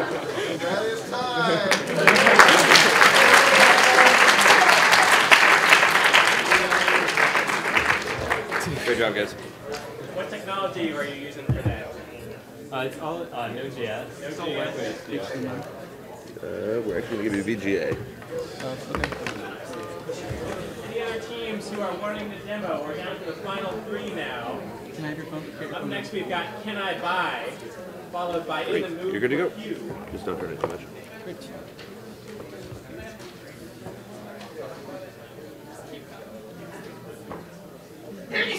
Ready? Okay. Okay, so we are all, um, I'm Ishan, this is Biggie, this is Jordan, this is Ed. We're all from Rutgers. Great.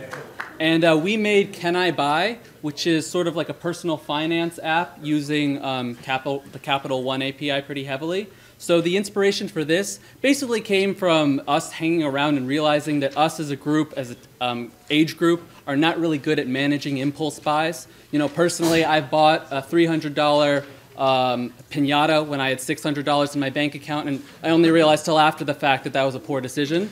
So, um, so my goal here was to basically take that um, decision for you. We uh, parse uh, your account from Capital One, and we um, say that, oh, hey, you should, and we look at your income and we look at your um, uh, expenses, and we, based on that, we say whether or not this is a good idea. So we use the Twilio API to do this, and we don't have a like, so we have to use our, so we text in um, the price of the item, just CIB, and then the price of the item, and it's and it lets you know then it- based on your account info that hey whether or not this is a good idea and the result here is that you cannot afford this because your balance will be negative 205 upon purchase of this item which is below two months of expenses which, it, um, which we determined from their previous bank history. Um, and to buy this you need to reduce your income and or reduce your expenses. Additionally here we have also ways to biggie just texted it and he said oh you can you can afford it and because you have 16,000 because Biggie's doing a little bit better than I am in your bank account and you can afford it. What it also does is it can tell you in how many month, months can you make this purchase as well if your income is greater than your expenses. So yeah, we use uh, SendGrid, um, oh, no, sorry, we use Twilio, um, Mongo, and um, yeah. Next up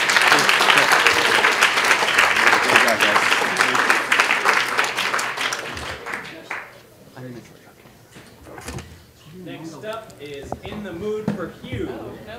Oh, sorry. No. Oh, sorry, we cut. What do it? Uh, we're back with what's your tap? Acronym.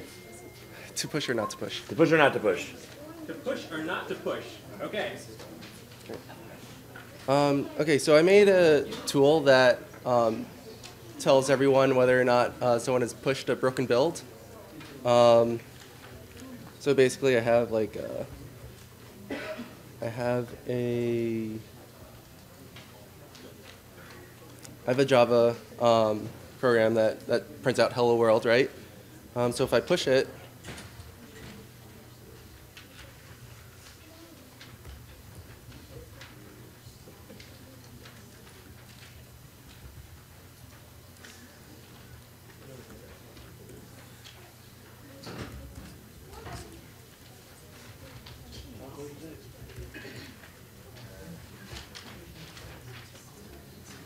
right? Um, I'll get a text saying that I pushed um, to that repo. Um, but if I push something broken, like if I open up app and then let's say I just want to, let's say I totally forgot the main method, right? For some reason. Um, and then I push that. Uh, my friend Anant is somewhere in the crowd. Yeah, he's right there. Um, he's, he's a contributor to this repo. Um, so when I push it, he'll get a message saying that I messed up somewhere.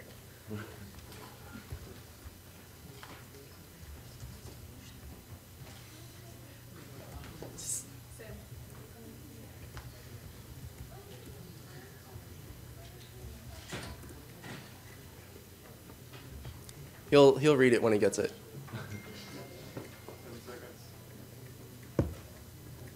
That's, that's all I have really until.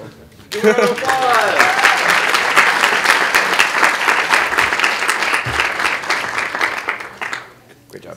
Thanks. And now we've got team in the mood for Hugh.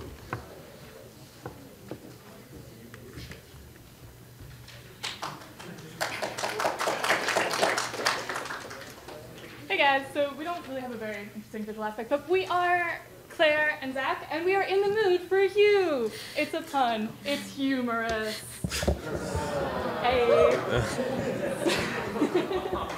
So what we wanted was smart mood lighting. Uh, so the idea is that you're like sitting at work and everybody's very focused on what they're doing, and you don't necessarily think about like your own well-being. Like, are you doing okay? Are you getting like really stressed out? Are you happy? Like generally well balanced?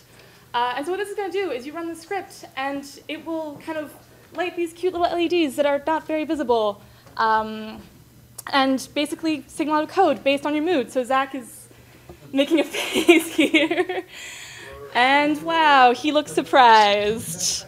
Um, so yeah, maybe you would use this in the workplace. You're walking by someone's desk, and you don't know if it's really the best time to make that knock knock joke that they hate. Um, Ideally, we would like to see this kind of as a, anytime you walk into the room, it would capture your facial expression and then adapt the expression, the lighting in the room. But yeah, that's what we've got. Thanks for watching, guys.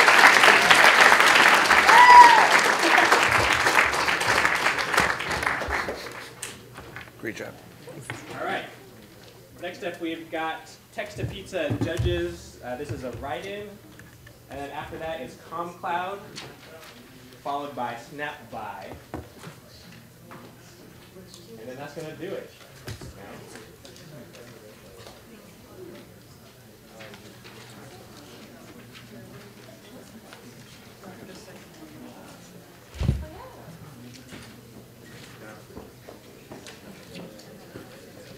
Yeah, so so basically the app is about like ordering a pizza. So most of us would have so most of us would have found the pain of like going through multiple screens of the in the apps or like calling up the person and like giving us the recipes like what, what we want and the pizza all we want is like a simple cheese pizza with some two or three toppings in it. So basically this is just an uh, A bot to which you can interact and order pizza. So I can just uh, demo that. So I'm just going to send it like send me to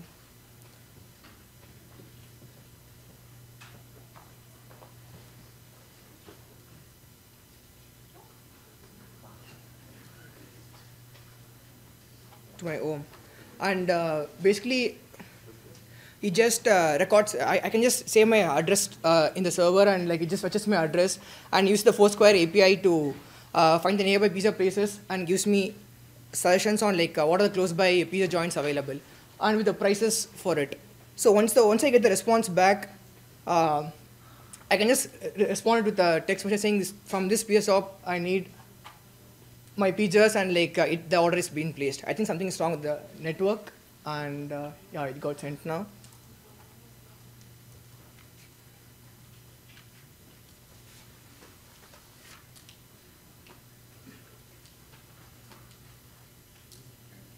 Oops. I think it's a network. Okay, I can I can just play a quick video of like uh, what I've captured on this.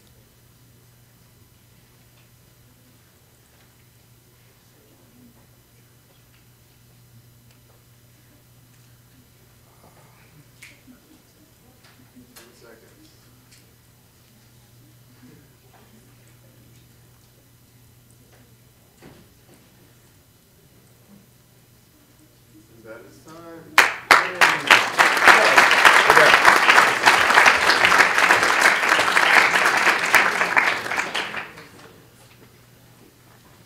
Next up, ComCloud. What do you need? Oh, you could have HDMI or. Where are you guys from? Uh, yeah, we're from Temple University in Philly.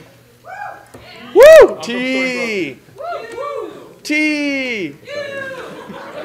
Stop. We're done here.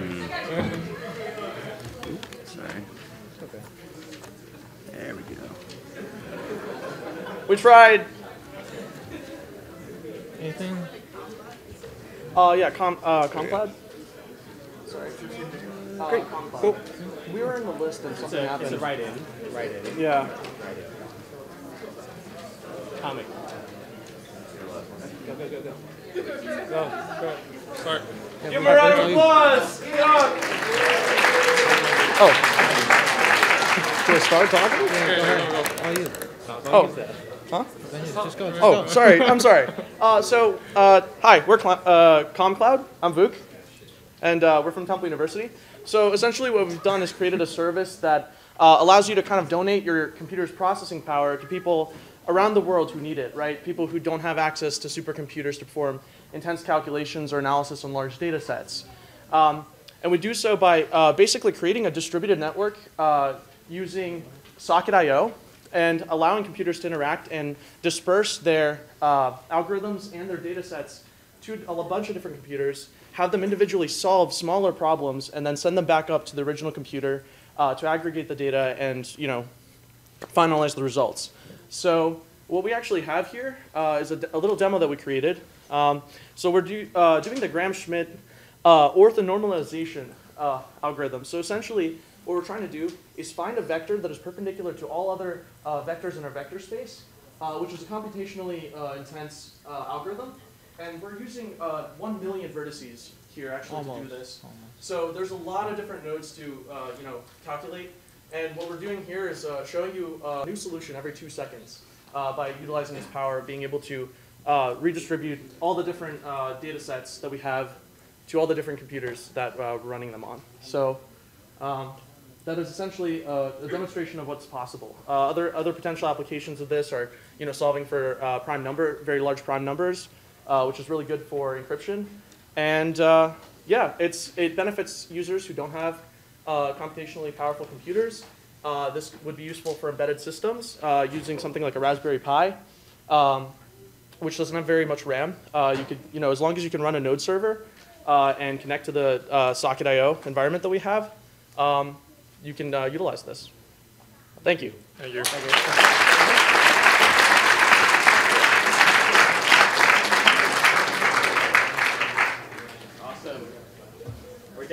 Last two. What do you need Uh, here? next, we've got another write-in judges. Uh, It doesn't The require. It's fine. Oh, you're good. Oh, great. Uh, hello friends, my name is Shivanjali and I'm from uh, New Jersey Institute of Technology.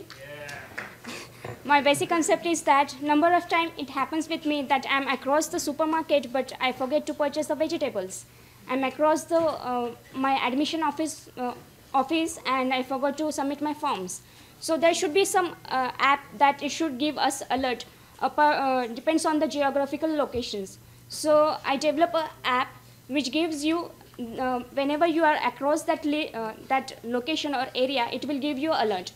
Uh, for giving the alert, I use the Twilio um, API, and I'm sending the SMS to that particular uh, person.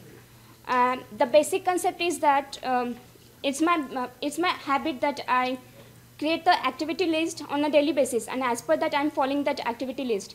Once I complete that activity list, I just check out that list, and it will remove from that list. Otherwise, I will keep that activity list to, and carry forward that uh, to the next day. And uh, same concept I used in in this app app also. Right now, I just run my app, and it's uh, I'm just adding my activity list. Right now, I'm adding. I want to purchase my food, so I, I add. Whenever I add my the item and I, I'm across the supermarket, it will give me alert, and you have to wait a little bit to get that message. The basic concept is that you can add your activity in your activity list, and the uh, the main intention is that at least people can start creating their daily activity list. And for that purpose, I use the Android technology and then the um, Relay API and the JSON objects. That's it. Thank you.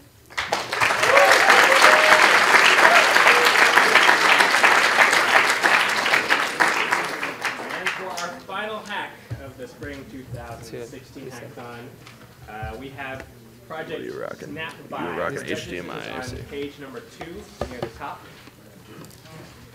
Can I just say how amazing uh, the timing has been for this? You all are great for keeping under two minutes. Uh, we've rolled through uh, close to 50 hacks, if not more. So give yourselves a big round of applause for that.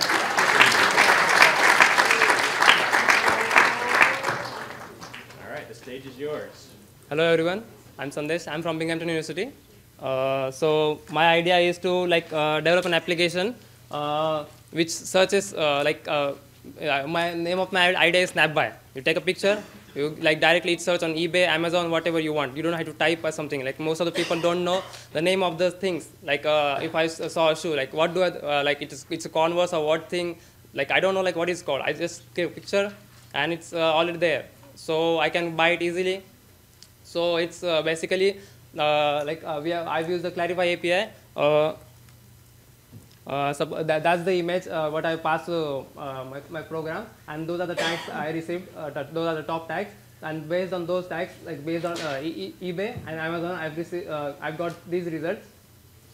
So basically, the purpose of this uh, uh, application is to uh, like whenever you see something, if you want to like uh, buy that thing, just click it, and you'll have it on eBay or Amazon, and you can directly buy it. So that was the thing. So thank you.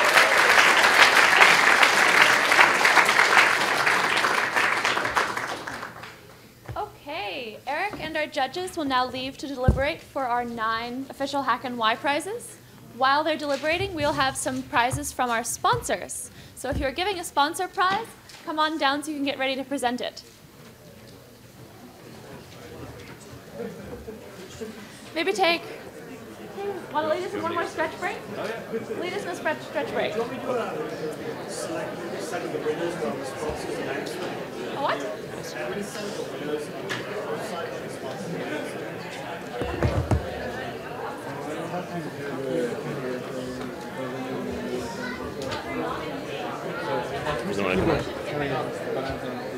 Oh my god. We got logged out. What are you looking for? It's just gonna any computer, any Oh, computer. I see it, I see it. We can verify.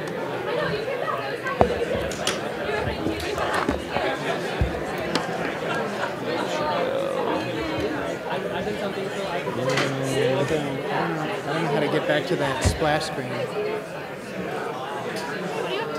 I'm just trying to get the. Oh, I wanted to get the splash screen back. Well, it's not attached. It's not on my laptop. That's fine. Just command F1. There you go. Um, yeah, I think it's on this, but I don't actually know how it got there. Yeah, I can, I can find it for you, but I, it's not on my desktop, and I would like this my laptop. All right. So, sponsor prizes and or stretch break. Yeah, stretch break first. All right. We're gonna do one more A what? stretch break. Everyone stand up. Okay, yeah. If you, did you like me to get that splash screen? Oh yeah. Okay. Let me see you. All right. First off, hands above our heads. Lean to the right. Uh, lean to the left. Uh, small circles with your hands. Crisscross a little bit. Oh, yeah. Smack yourself in the face. No, don't do that. Clap your hands. All right, sit back down. We're good. Who had a good time this weekend? Let me hear you. And then how do I get this on I'm not screen? convinced. Who had a good time this weekend? Let me hear you. Thank you. All right, a little better, a little better. Okay, so while we're waiting, oh, what are we what are we doing now? Wanna We're doing sponsor? sponsor prizes. All right. So actually, I need this then. That's not mirrored. No, That's yeah, not on. I, I will need to use it then because I have a list.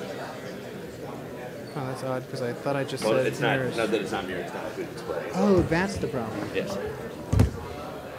Okay. Yeah. Can we stop? Here. All right. Um, I just I need my list of them, so I'm gonna need to have that over on the other side. Is it which one? Is it mirrored? Well, I need I actually need to look at the list. Uh, Command so, F1. okay, Command F1. I've never done this before. You go. Okay. Great. And then And now I've got just drag this over This here. one over. No. Other side. Where is it? What? Oh, there. Oh, it it's is. above. Okay. Cool. And then just hit. Great. Now you can go and now I should be good. Thank you, ladies and gentlemen. Great. All right. Twilio. Twilio, Mongo. Is it cool? Is it cool if I not give my prize to the first place team? Because that happened at the last two hackNYs. Is it like like can we wait to hear what the actual judges' decisions are, or should we just do it now? I'd appreciate it if you just do it because we need it in this time period. But All right. I mean, Whatever. Do it. yeah. All right. Who wants to hear about sponsor prizes? Okay. Who's going first? All right. Do we have representatives of Datto for the best use of PHP? Woo!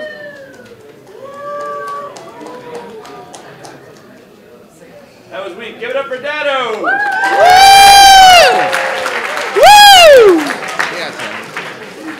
You or me? I'll go first. Hey guys, I'm Brian. I'm a software engineer at Datto. I'm Tom. I'm also a software engineer at Datto. Uh, we are awarding the a prize for best use of PHP. Uh, we like Facebook and Etsy. We use Facebook as our PHP as a core language, uh, and we were really impressed with Crave Spot. Uh, so congratulations. Crave Spot. Woo! What did they get? Oh, oh. Uh, the prize is $300 uh, Amazon gift card. I think they left. All right, we'll get it to the party. we will. Yeah. Oh, they came. They showed up. They showed up. Good job.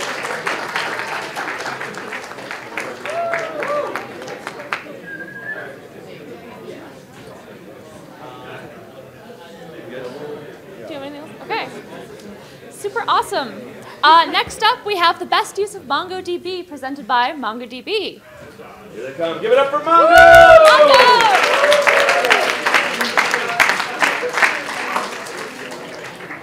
Hey guys, so I'm here to give best use of MongoDB. Um, I hate having to choose just one because there was some cool stuff, but it is going to, I hope I'm pronouncing this right, Hyperios, the city analysis tool.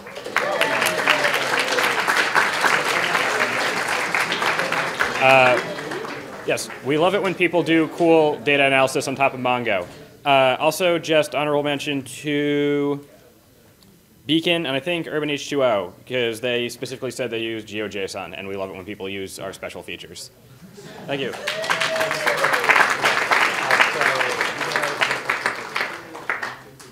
Uh, something that's special is we've been able to be corresponding with the makers of Hyperios for the past week. They're wanting to make sure that their, their app would be educational and respectful to everyone in these conflicts. So thanks for being so thoughtful about everything when you built your app.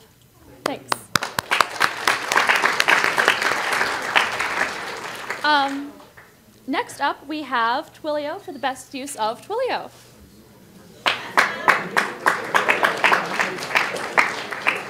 What are you giving them? Huh? What is it? What's up, everybody? So, I'm Sam Agnew for Twilio, and in my bag I have a bunch of portable Super Nintendos. And, uh, and I brought some games from my house that I'm going to give away with them. Real stuff from Sam's house. Real stuff, Yeah. like from my childhood. So you know. All right, so there were there were a good amount of Twilio hacks, and uh, there were interestingly enough a good amount of solo Twilio hacks. So I decided that instead of giving away one prize, I'm going to give away three. So give a prize to three teams. So the three teams that I've picked are Remind Me.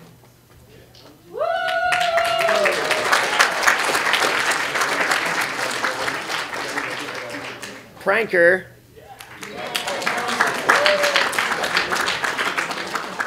And Dial VG.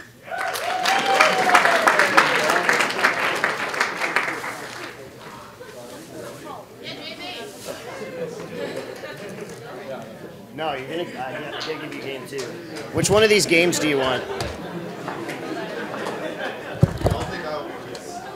All right, so I got I got Killer Instinct, F Zero, NBA Jam, or Star Fox. Star Fox. All right. Well, you you came up here first, so you get first pick. Star Fox. Killer Instinct, F Zero, NBA Jam, or Star Fox. Sa- It sounds like people are going Star Fox. Yeah. So she gets Star Fox. Where's Pranker? Who made Pranker? Is that person here? All right. Well, this is for you. And which which one of these do you want? Yeah, dude. NBA Jam. He, he went with F Zero. He went with F Zero. Who, who made Pranker? Isn't there's like another Pranker, person? where are you at? Yeah. Ananth. I think his name's Ananth. Yeah, Ananth. Not, you still here? Are you All here? right, they can reconnect afterwards. Cool. I, gue- I guess I might keep it then. Whatever. All right, next up we have Capital One for the best use of Capital's One API Nessie. Give it up for Capital Capital One. Hi, my name is Austin from Capital One, and I'm here to give out the best, the award for best use of Nessie. Uh, we felt this app had the most creativity out of the ones that used ours, and the team learned the most. Uh, so we're very happy to award our prize to Make or Break. Uh, if you're here, it's a uh, $250 Amazon gift card per member on the team. So just come find me, and I'll get your uh, contact info and stuff. Thanks. Right, and before we do our MLH prizes, we have a special demo from our smallest hacker. Um, okay, so I'm gonna do a sketch. So, um, scratch. I'm so sorry. You go there, and then I'll help fix you. Okay, uh, how many of you have ever used Scratch? Let me just unmirror for you. Sorry? Let me just unmirror for you. Oh, sure. Command F1. I learned something new today. Well done. Sorry, it doesn't look so good. Scratch. Okay. Now, so I'm merely the biz dev guy, not actually the CTO. No, no, Dad, Dad, Dad. My stuff. So the CTO is going to take over from here. No, but don't you want to demo it? Oh. Fail. Oh, wait. I got it. Here, let's do it. Run this plugin. Flash lives. And here it goes. There you go. Okay, Natiza, what is this? Uh, so basically, it's just like a game for you to play. It's it's three or up. It's probably um two to three players for this. Um, oh, s- this is going again. So you can press L for this to happen, which is a lot of things.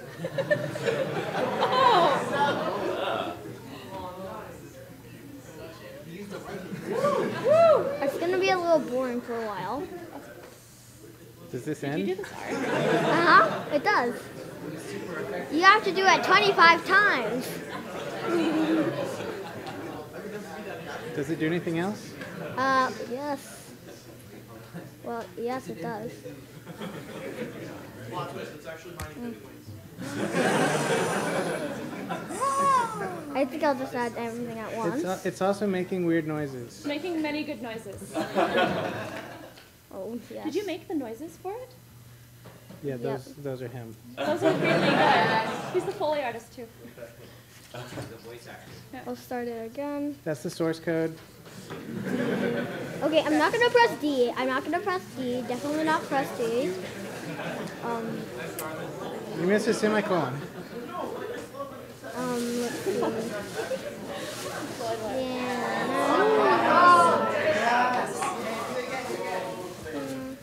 Whatever that is. There you go. He just, I don't. Is that Well, the end of it? more. There's more keys. No, there's more. Mm. You have to wait for this to go 25 times. 25 times. Or I'll just delete it. Or I'll just, um.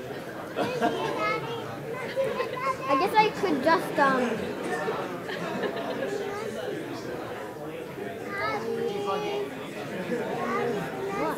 Live coding. Live code, live code.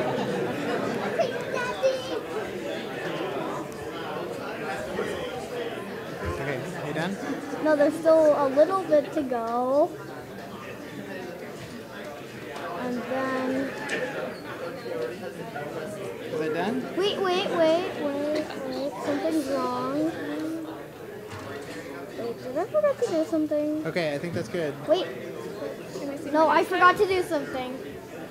Okay, that was a solo hack. Okay.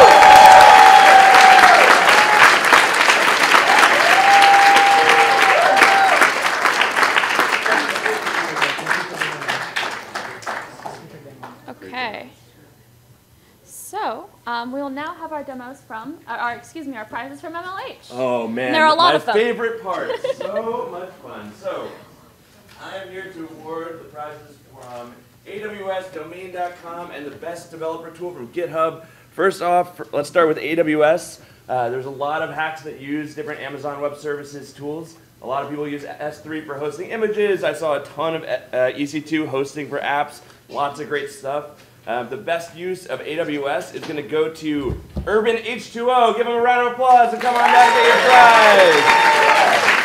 Here they come. They are all getting one terabyte Dell portable hard drives. We can call them offline S3s. There you go. Wait, wait, you gotta pose for a photo. Right here, right here.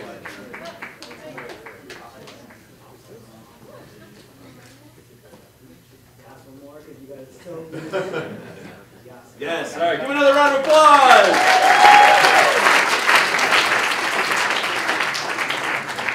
Up next, we have these fantastic Octocat statues from GitHub for the best developer tool. Look at how adorable this is. Put it right on your shelf. So, I had a lot of trouble figuring this one out, but this team really uh, resonated with me because I think as a developer, you tend to prefer to interact with things through an API rather than the phone. So this one goes out to Station Location for making an API to do something you could do with Google Maps.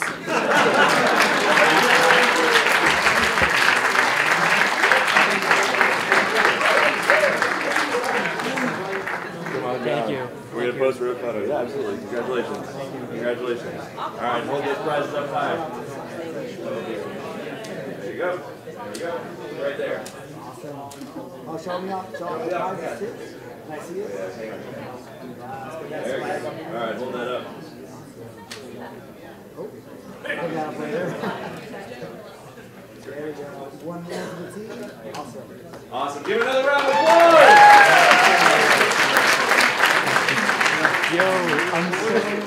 All right, and last but not least, we have the best domain name registered on domain.com. This one is going to get the domain.com swag bag of awesome, which has an Arduino in it as well. This one goes out to justbike.net. Come on down.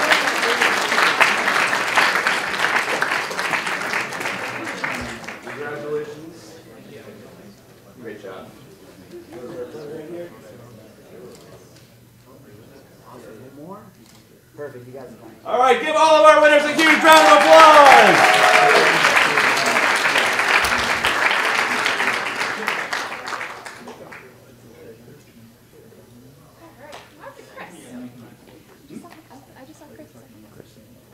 Oh, there you are. Yeah.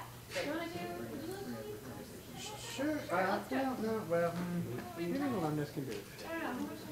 You a while. I can go investigate. Okay. Okay, well, how about an alumnus? Okay. Um, yeah, while we wait for our judges, we thought we'd like to tell you a bit more about the hackNY Fellows program. Um, so if our alumni of the program could come down, uh, come join me. Yeah.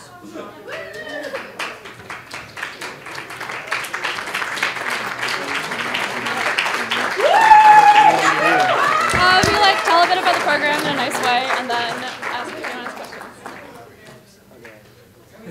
Yeah, no, we're just we're answering Oh, good. Questions from the crowd. Ask us anything. Or maybe, maybe say what it is first. Yeah, tell us what it is first. Maybe say what it is first. So, so who here has heard of the hackNY Fellowship? You should have because we just talked about it. So, anyway, so hackNY is to federate the next generation of, of uh, New York technical community.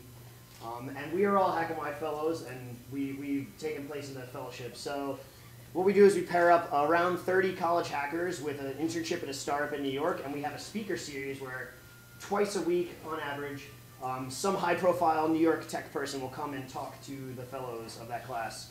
And for me, it was the best summer of my life. I did hackNY in 2014 with Manny and Hannah and Sonali and some other peeps, um, and you'll hear more about that in a minute.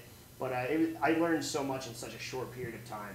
So I just want to say, uh, let's go down the line, and each of you say what your name is, what year you did hackNY, and where you interned.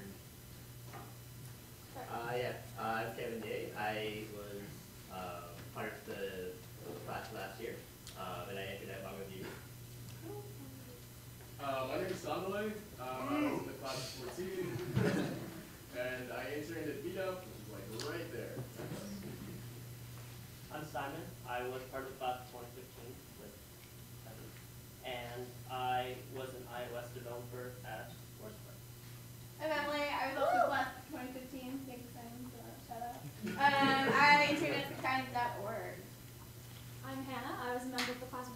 13, which is the best class. Uh, and I interned at BetterPath, which is a political tech startup. Uh, I'm Josh. I was a member of class of 2013, and I interned at Bitly.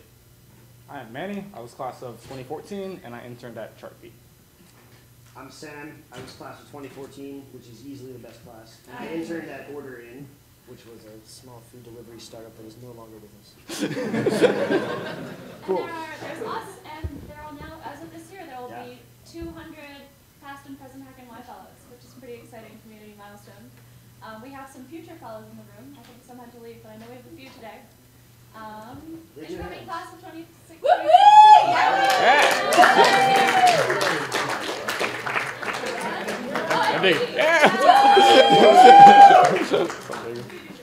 There were more. there are like five more floating around. They're sleeping. Yeah, they're not. Well, Sakit had to leave. Um, so yeah, what were some of our favorite parts of the fellowship since we're here? Yeah. What, what was your? What was your? Every one of you. What was your favorite talk during a speaker series?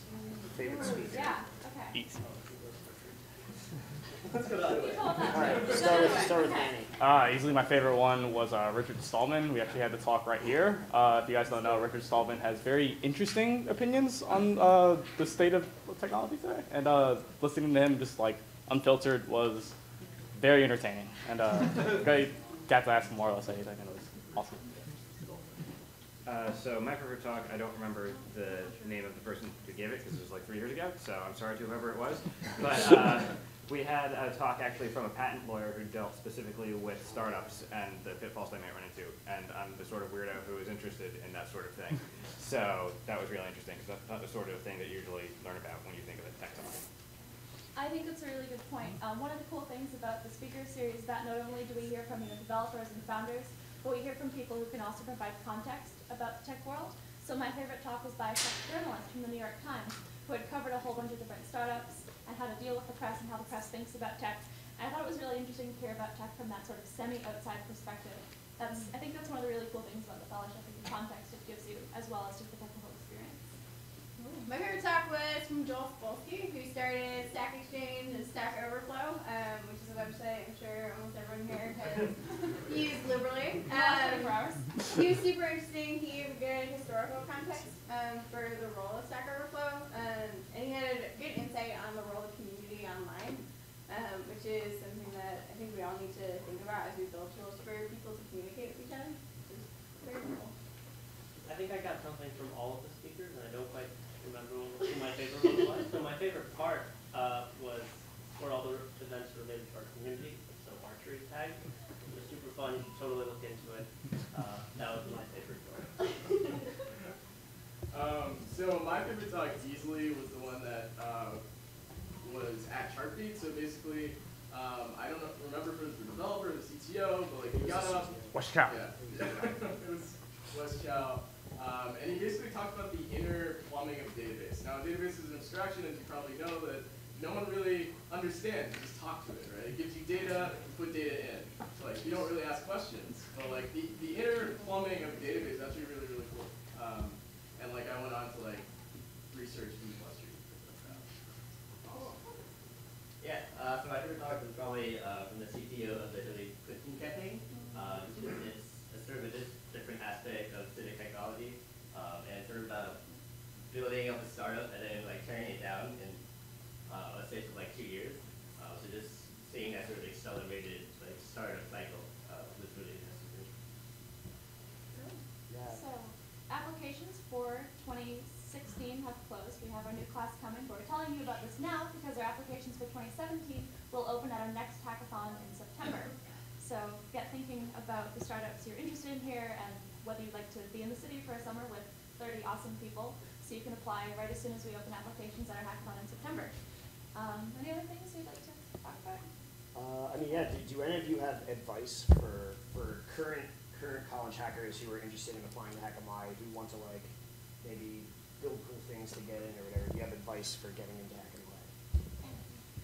do more of this. Uh, Yeah. just like well, whenever you get the chance, just like build more awesome stuff. Like the, the more of that we see on there, like the, the more awesome we think you are, and like the yeah, like you stand a really good shot of getting it if uh, if you if it's like this is something you're passionate about. Yeah, I think the coolest thing about you know working at hackathons is the way it shows that you're interested in learning outside of the classroom as well as in it. So however you learn outside the classroom, whether it's attending hackathons or working on things on your own or doing open source, that's always a really good indicator that you're into computer science, you're into working in the community, and you'll be a great member of our community. So keep doing that kind of thing. Anyone else? Hannah, what does hackNY look for in fellows? Okay, so hackNY looks for um, really good technical skills, so evidence that you're, you're a great coder and you also love coding. Um, we also look for um, indications that you like being part of a community. You run a hackathon, or you tutor people, or you're part of a CS club, something where you like to be part of your community. Um, those are the two big things. And those, of course, can be you know, manifested in a whole bunch of different ways. So we look for you know, a diverse group of people with different backgrounds and different interests. Because one of the most important things about being in this community is that we all have things to teach each other, and we're always willing to learn from each other. So having that varied set of experiences is really cool. And that's, I think, part of the reason that our community is so strong even after the summer. Because I, I can always learn things from these people and always hang out with them, and I feel like I'm, I'm learning new things and getting new things out of it all the time. Yeah. I just don't think you should set yourself, I don't think you should build stuff just because you want to get into hacking. Right. Yeah. Because you like- I think the way you phrased that question made it sound like, yeah, this is That's- what you're that is a very to. good point. Um, but I think we're all super, I don't know, we're all in love with Hacking We love that um, we got to meet so many interesting people, build cool things together. Um, but I think all that excitement from the summer, but also all the excitement that happens at a hackathon, um, we're lucky to be here. And I think there's some responsibility to bring that to other people and reach out to people who say like, oh, I wish I knew how to code. Like, you're so cool. You do computer science. Um, call people out on that. Be like, oh, if you want to code, like, I'll show you. like, I'll show you what I'm doing. It's not magical at all. Um, so definitely bring that back with you. Don't just leave it here. How about questions from the audience? Yeah, yeah. Ask us anything. Almost anything. Are there any hard prerequisites that an applicant has to meet? Uh, they have to be a student at the time of application, an an undergraduate or graduate student. But- And be nice, and be nice, and have some tech skills. But other than that, you know, we accepted students from all kinds of majors, all kinds of backgrounds. We don't have any hard requirements like that. Yes? You, yeah. Uh, for, for those of you that might have had the chance to explore other tech communities, other women tech communities throughout the country, um, what's the most unique and exciting thing about New York City? It's interdisciplinary nature for me, I think. I like I like the way New York has got all these different industries in it. So tech is always reflecting these other cool things that are going on around.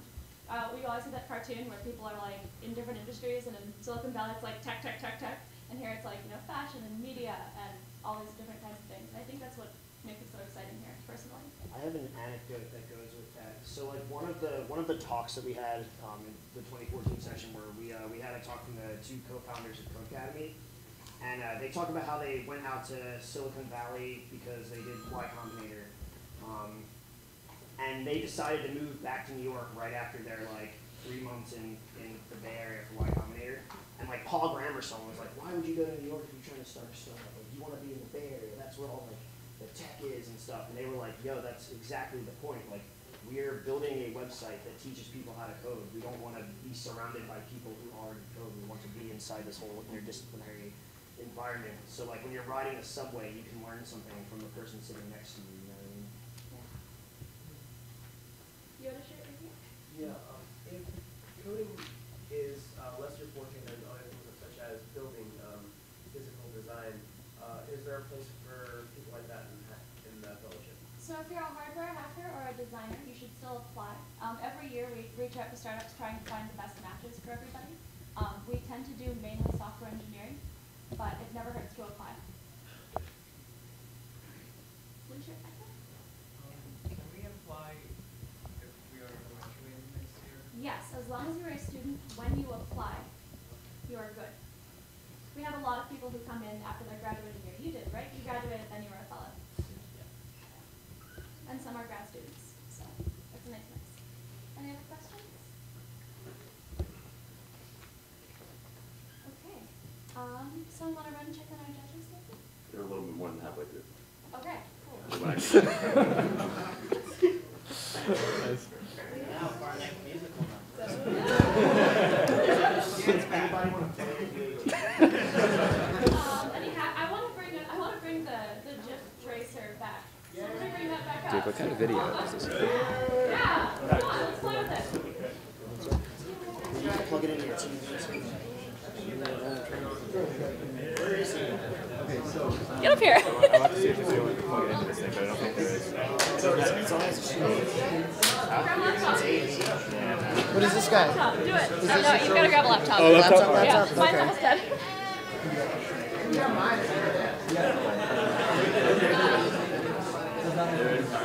Brandon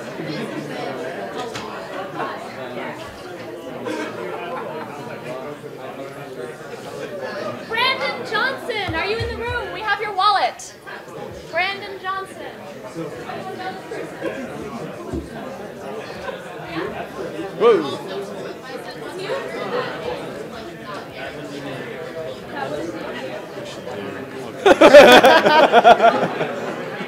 Hey, pretty impressive. Yeah. Is this still? Is this? Has it forgotten about you? No, I think I think. Well, let's see. No, it's still going. Are we sure? Sometimes it, it forgets you. Uh, we're looking for potato. Let's start over. Uh, let's just start over. Yeah.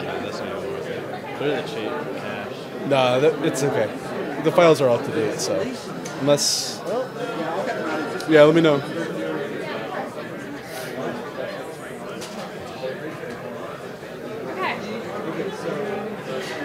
He's gonna boot the server back up. Thank you so much. I didn't mean to put you on the spot. We were we were hoping we could continue and finally get the, to the potato. Well, let's try again the and put it in the Slack group. Yeah, all right. Doing Well, the potato. All right, we're doing the potato. Okay, okay. Too bad they weren't gonna do Jiffy and uh,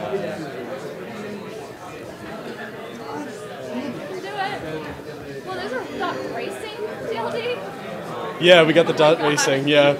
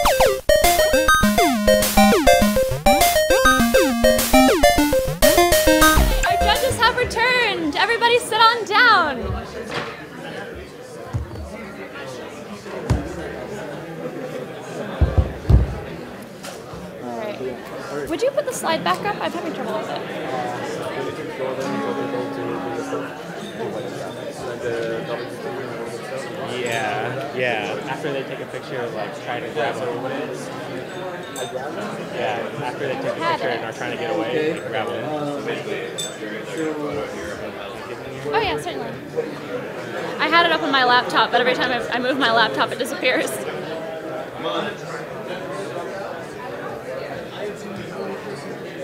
Oh, beautiful. Okay. Can I go All back right, up? clap one so you can hear me. Clap one so you can hear me. Clap three times you want to know who the winners are. All right. So the, the judges have deliberated. It was a very tough decision. Once again, thank you all for, for participating and hacking and coming to learn and doing for all of these hours. Um, give, your, give yourselves a big round of applause again.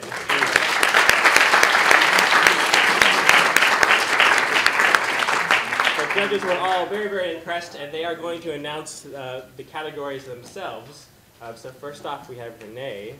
This is Renee DeResta, VP of Business Development at Haven.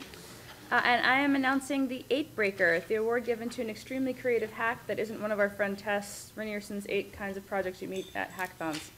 Um, this is a $200 prize, and this goes to Drone Regulator. Yeah. Woo! Drone Regulator. Um, all of our winners meet back up with us at the end. We have some paperwork for you. But and come some up here money. and but come up here and get a picture first. Yeah.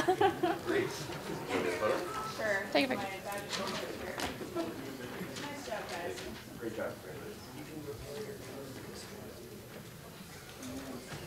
I like having the judges' notes. Great.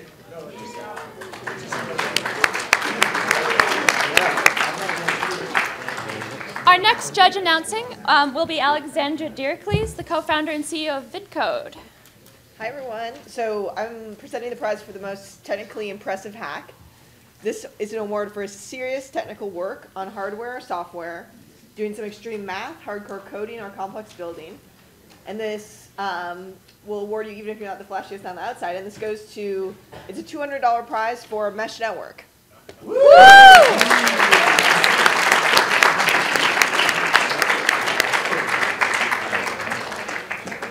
It's Mesh Network here. Mesh Network. Yeah, Yeah. here we go. Thought you were gonna get away. Come on, let me photo. Yep, right here.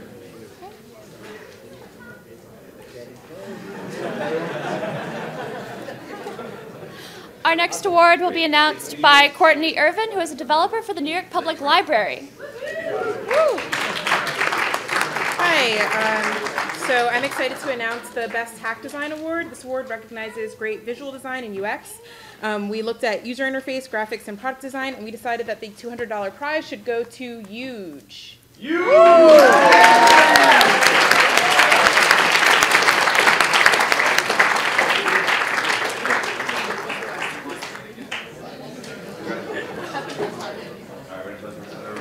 And you're going to announce another one, right, Courtney? Yeah. Great.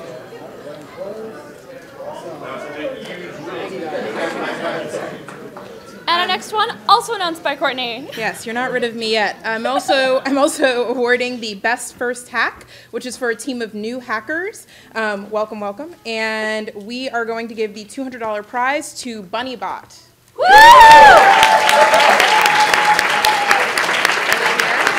Yeah, they're here somewhere. Bunny bot. Oh no, bunny bot. Honey Bot.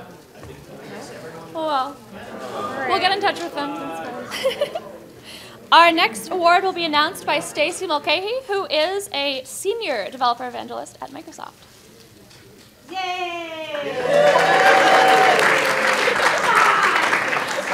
All right. Um, we saw a lot of people using some uh, NYC startup APIs, tons of Clarifai stuff, um, Clarifai. And so, for us, what we looked at and we decided we were going to give the award to was one that led us down an unusual path. From potato to something else. Corn on the cob. So Pictorious, we want to give you the.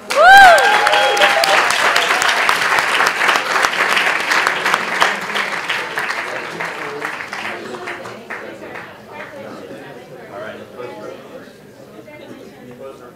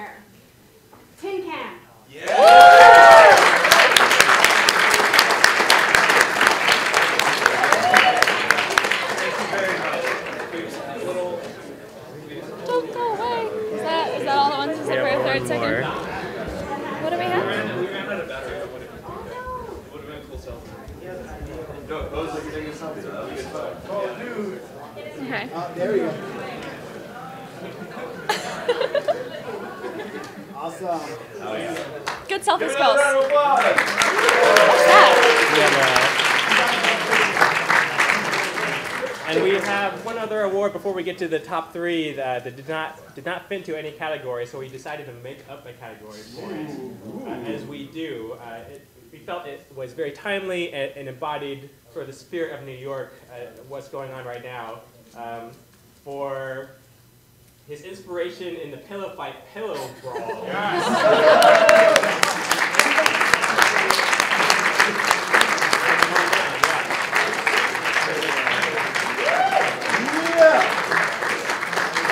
Doing slow clap.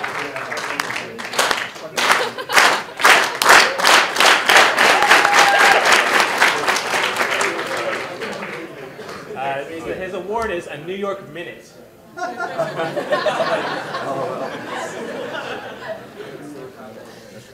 we're good. All All right. And for announcing the third, second, and first place winners, we have Minerva Tantoco, CTO of New York City.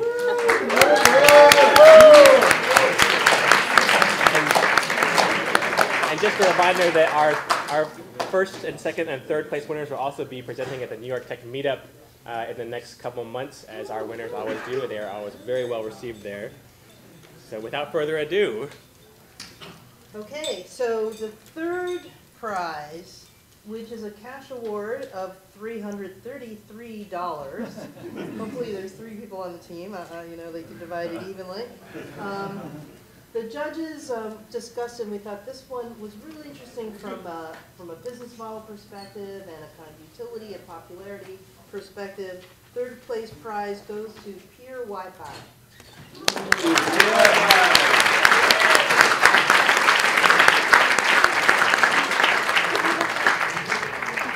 What do you need? Hmm, understood. Pardon me? Oh, please do, yeah. I'm on it. Oh, here. Oh, let's go in here. Okay.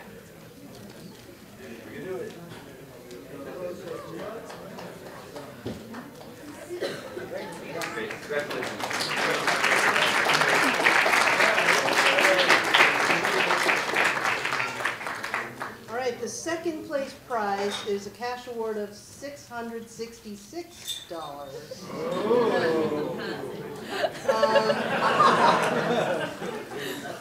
And the judges, uh, we all felt that this was really original, um, a cool idea.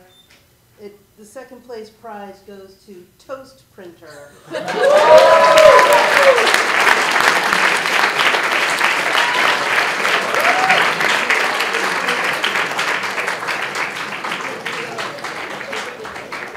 Yay, Toast Printer.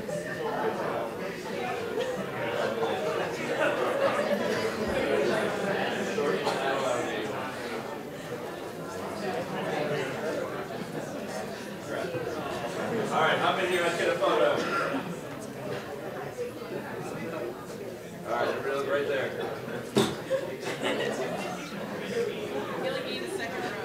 Yeah. You guys wanna do like a second row?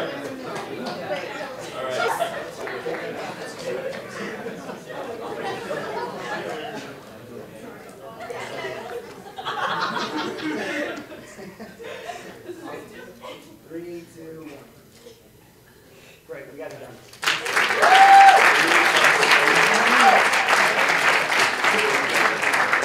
This is what it looks like when most of the people on stage are delirious from lack of sleep. Okay. And the moment you've been waiting for, the first place prize. Should we drum roll? All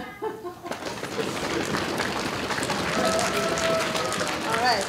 Um, so this one, I have to say, all, the judges all agreed. They were extremely impressed with this team. Um, it showed originality, great technical prowess, usefulness, um, and uh, I don't want to, uh, well, and so the first place prize goes to Interface.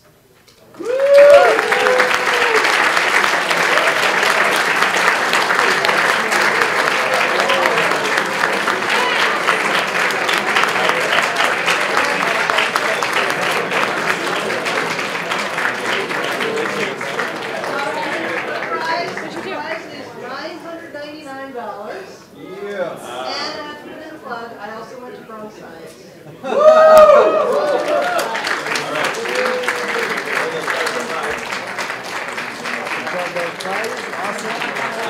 I love your spirit there, Swift. All right, great. Congratulations.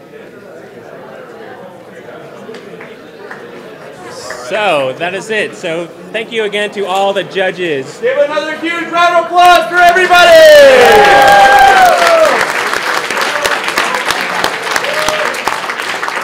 Thanks to all the judges, the sponsors, the tech ambassadors who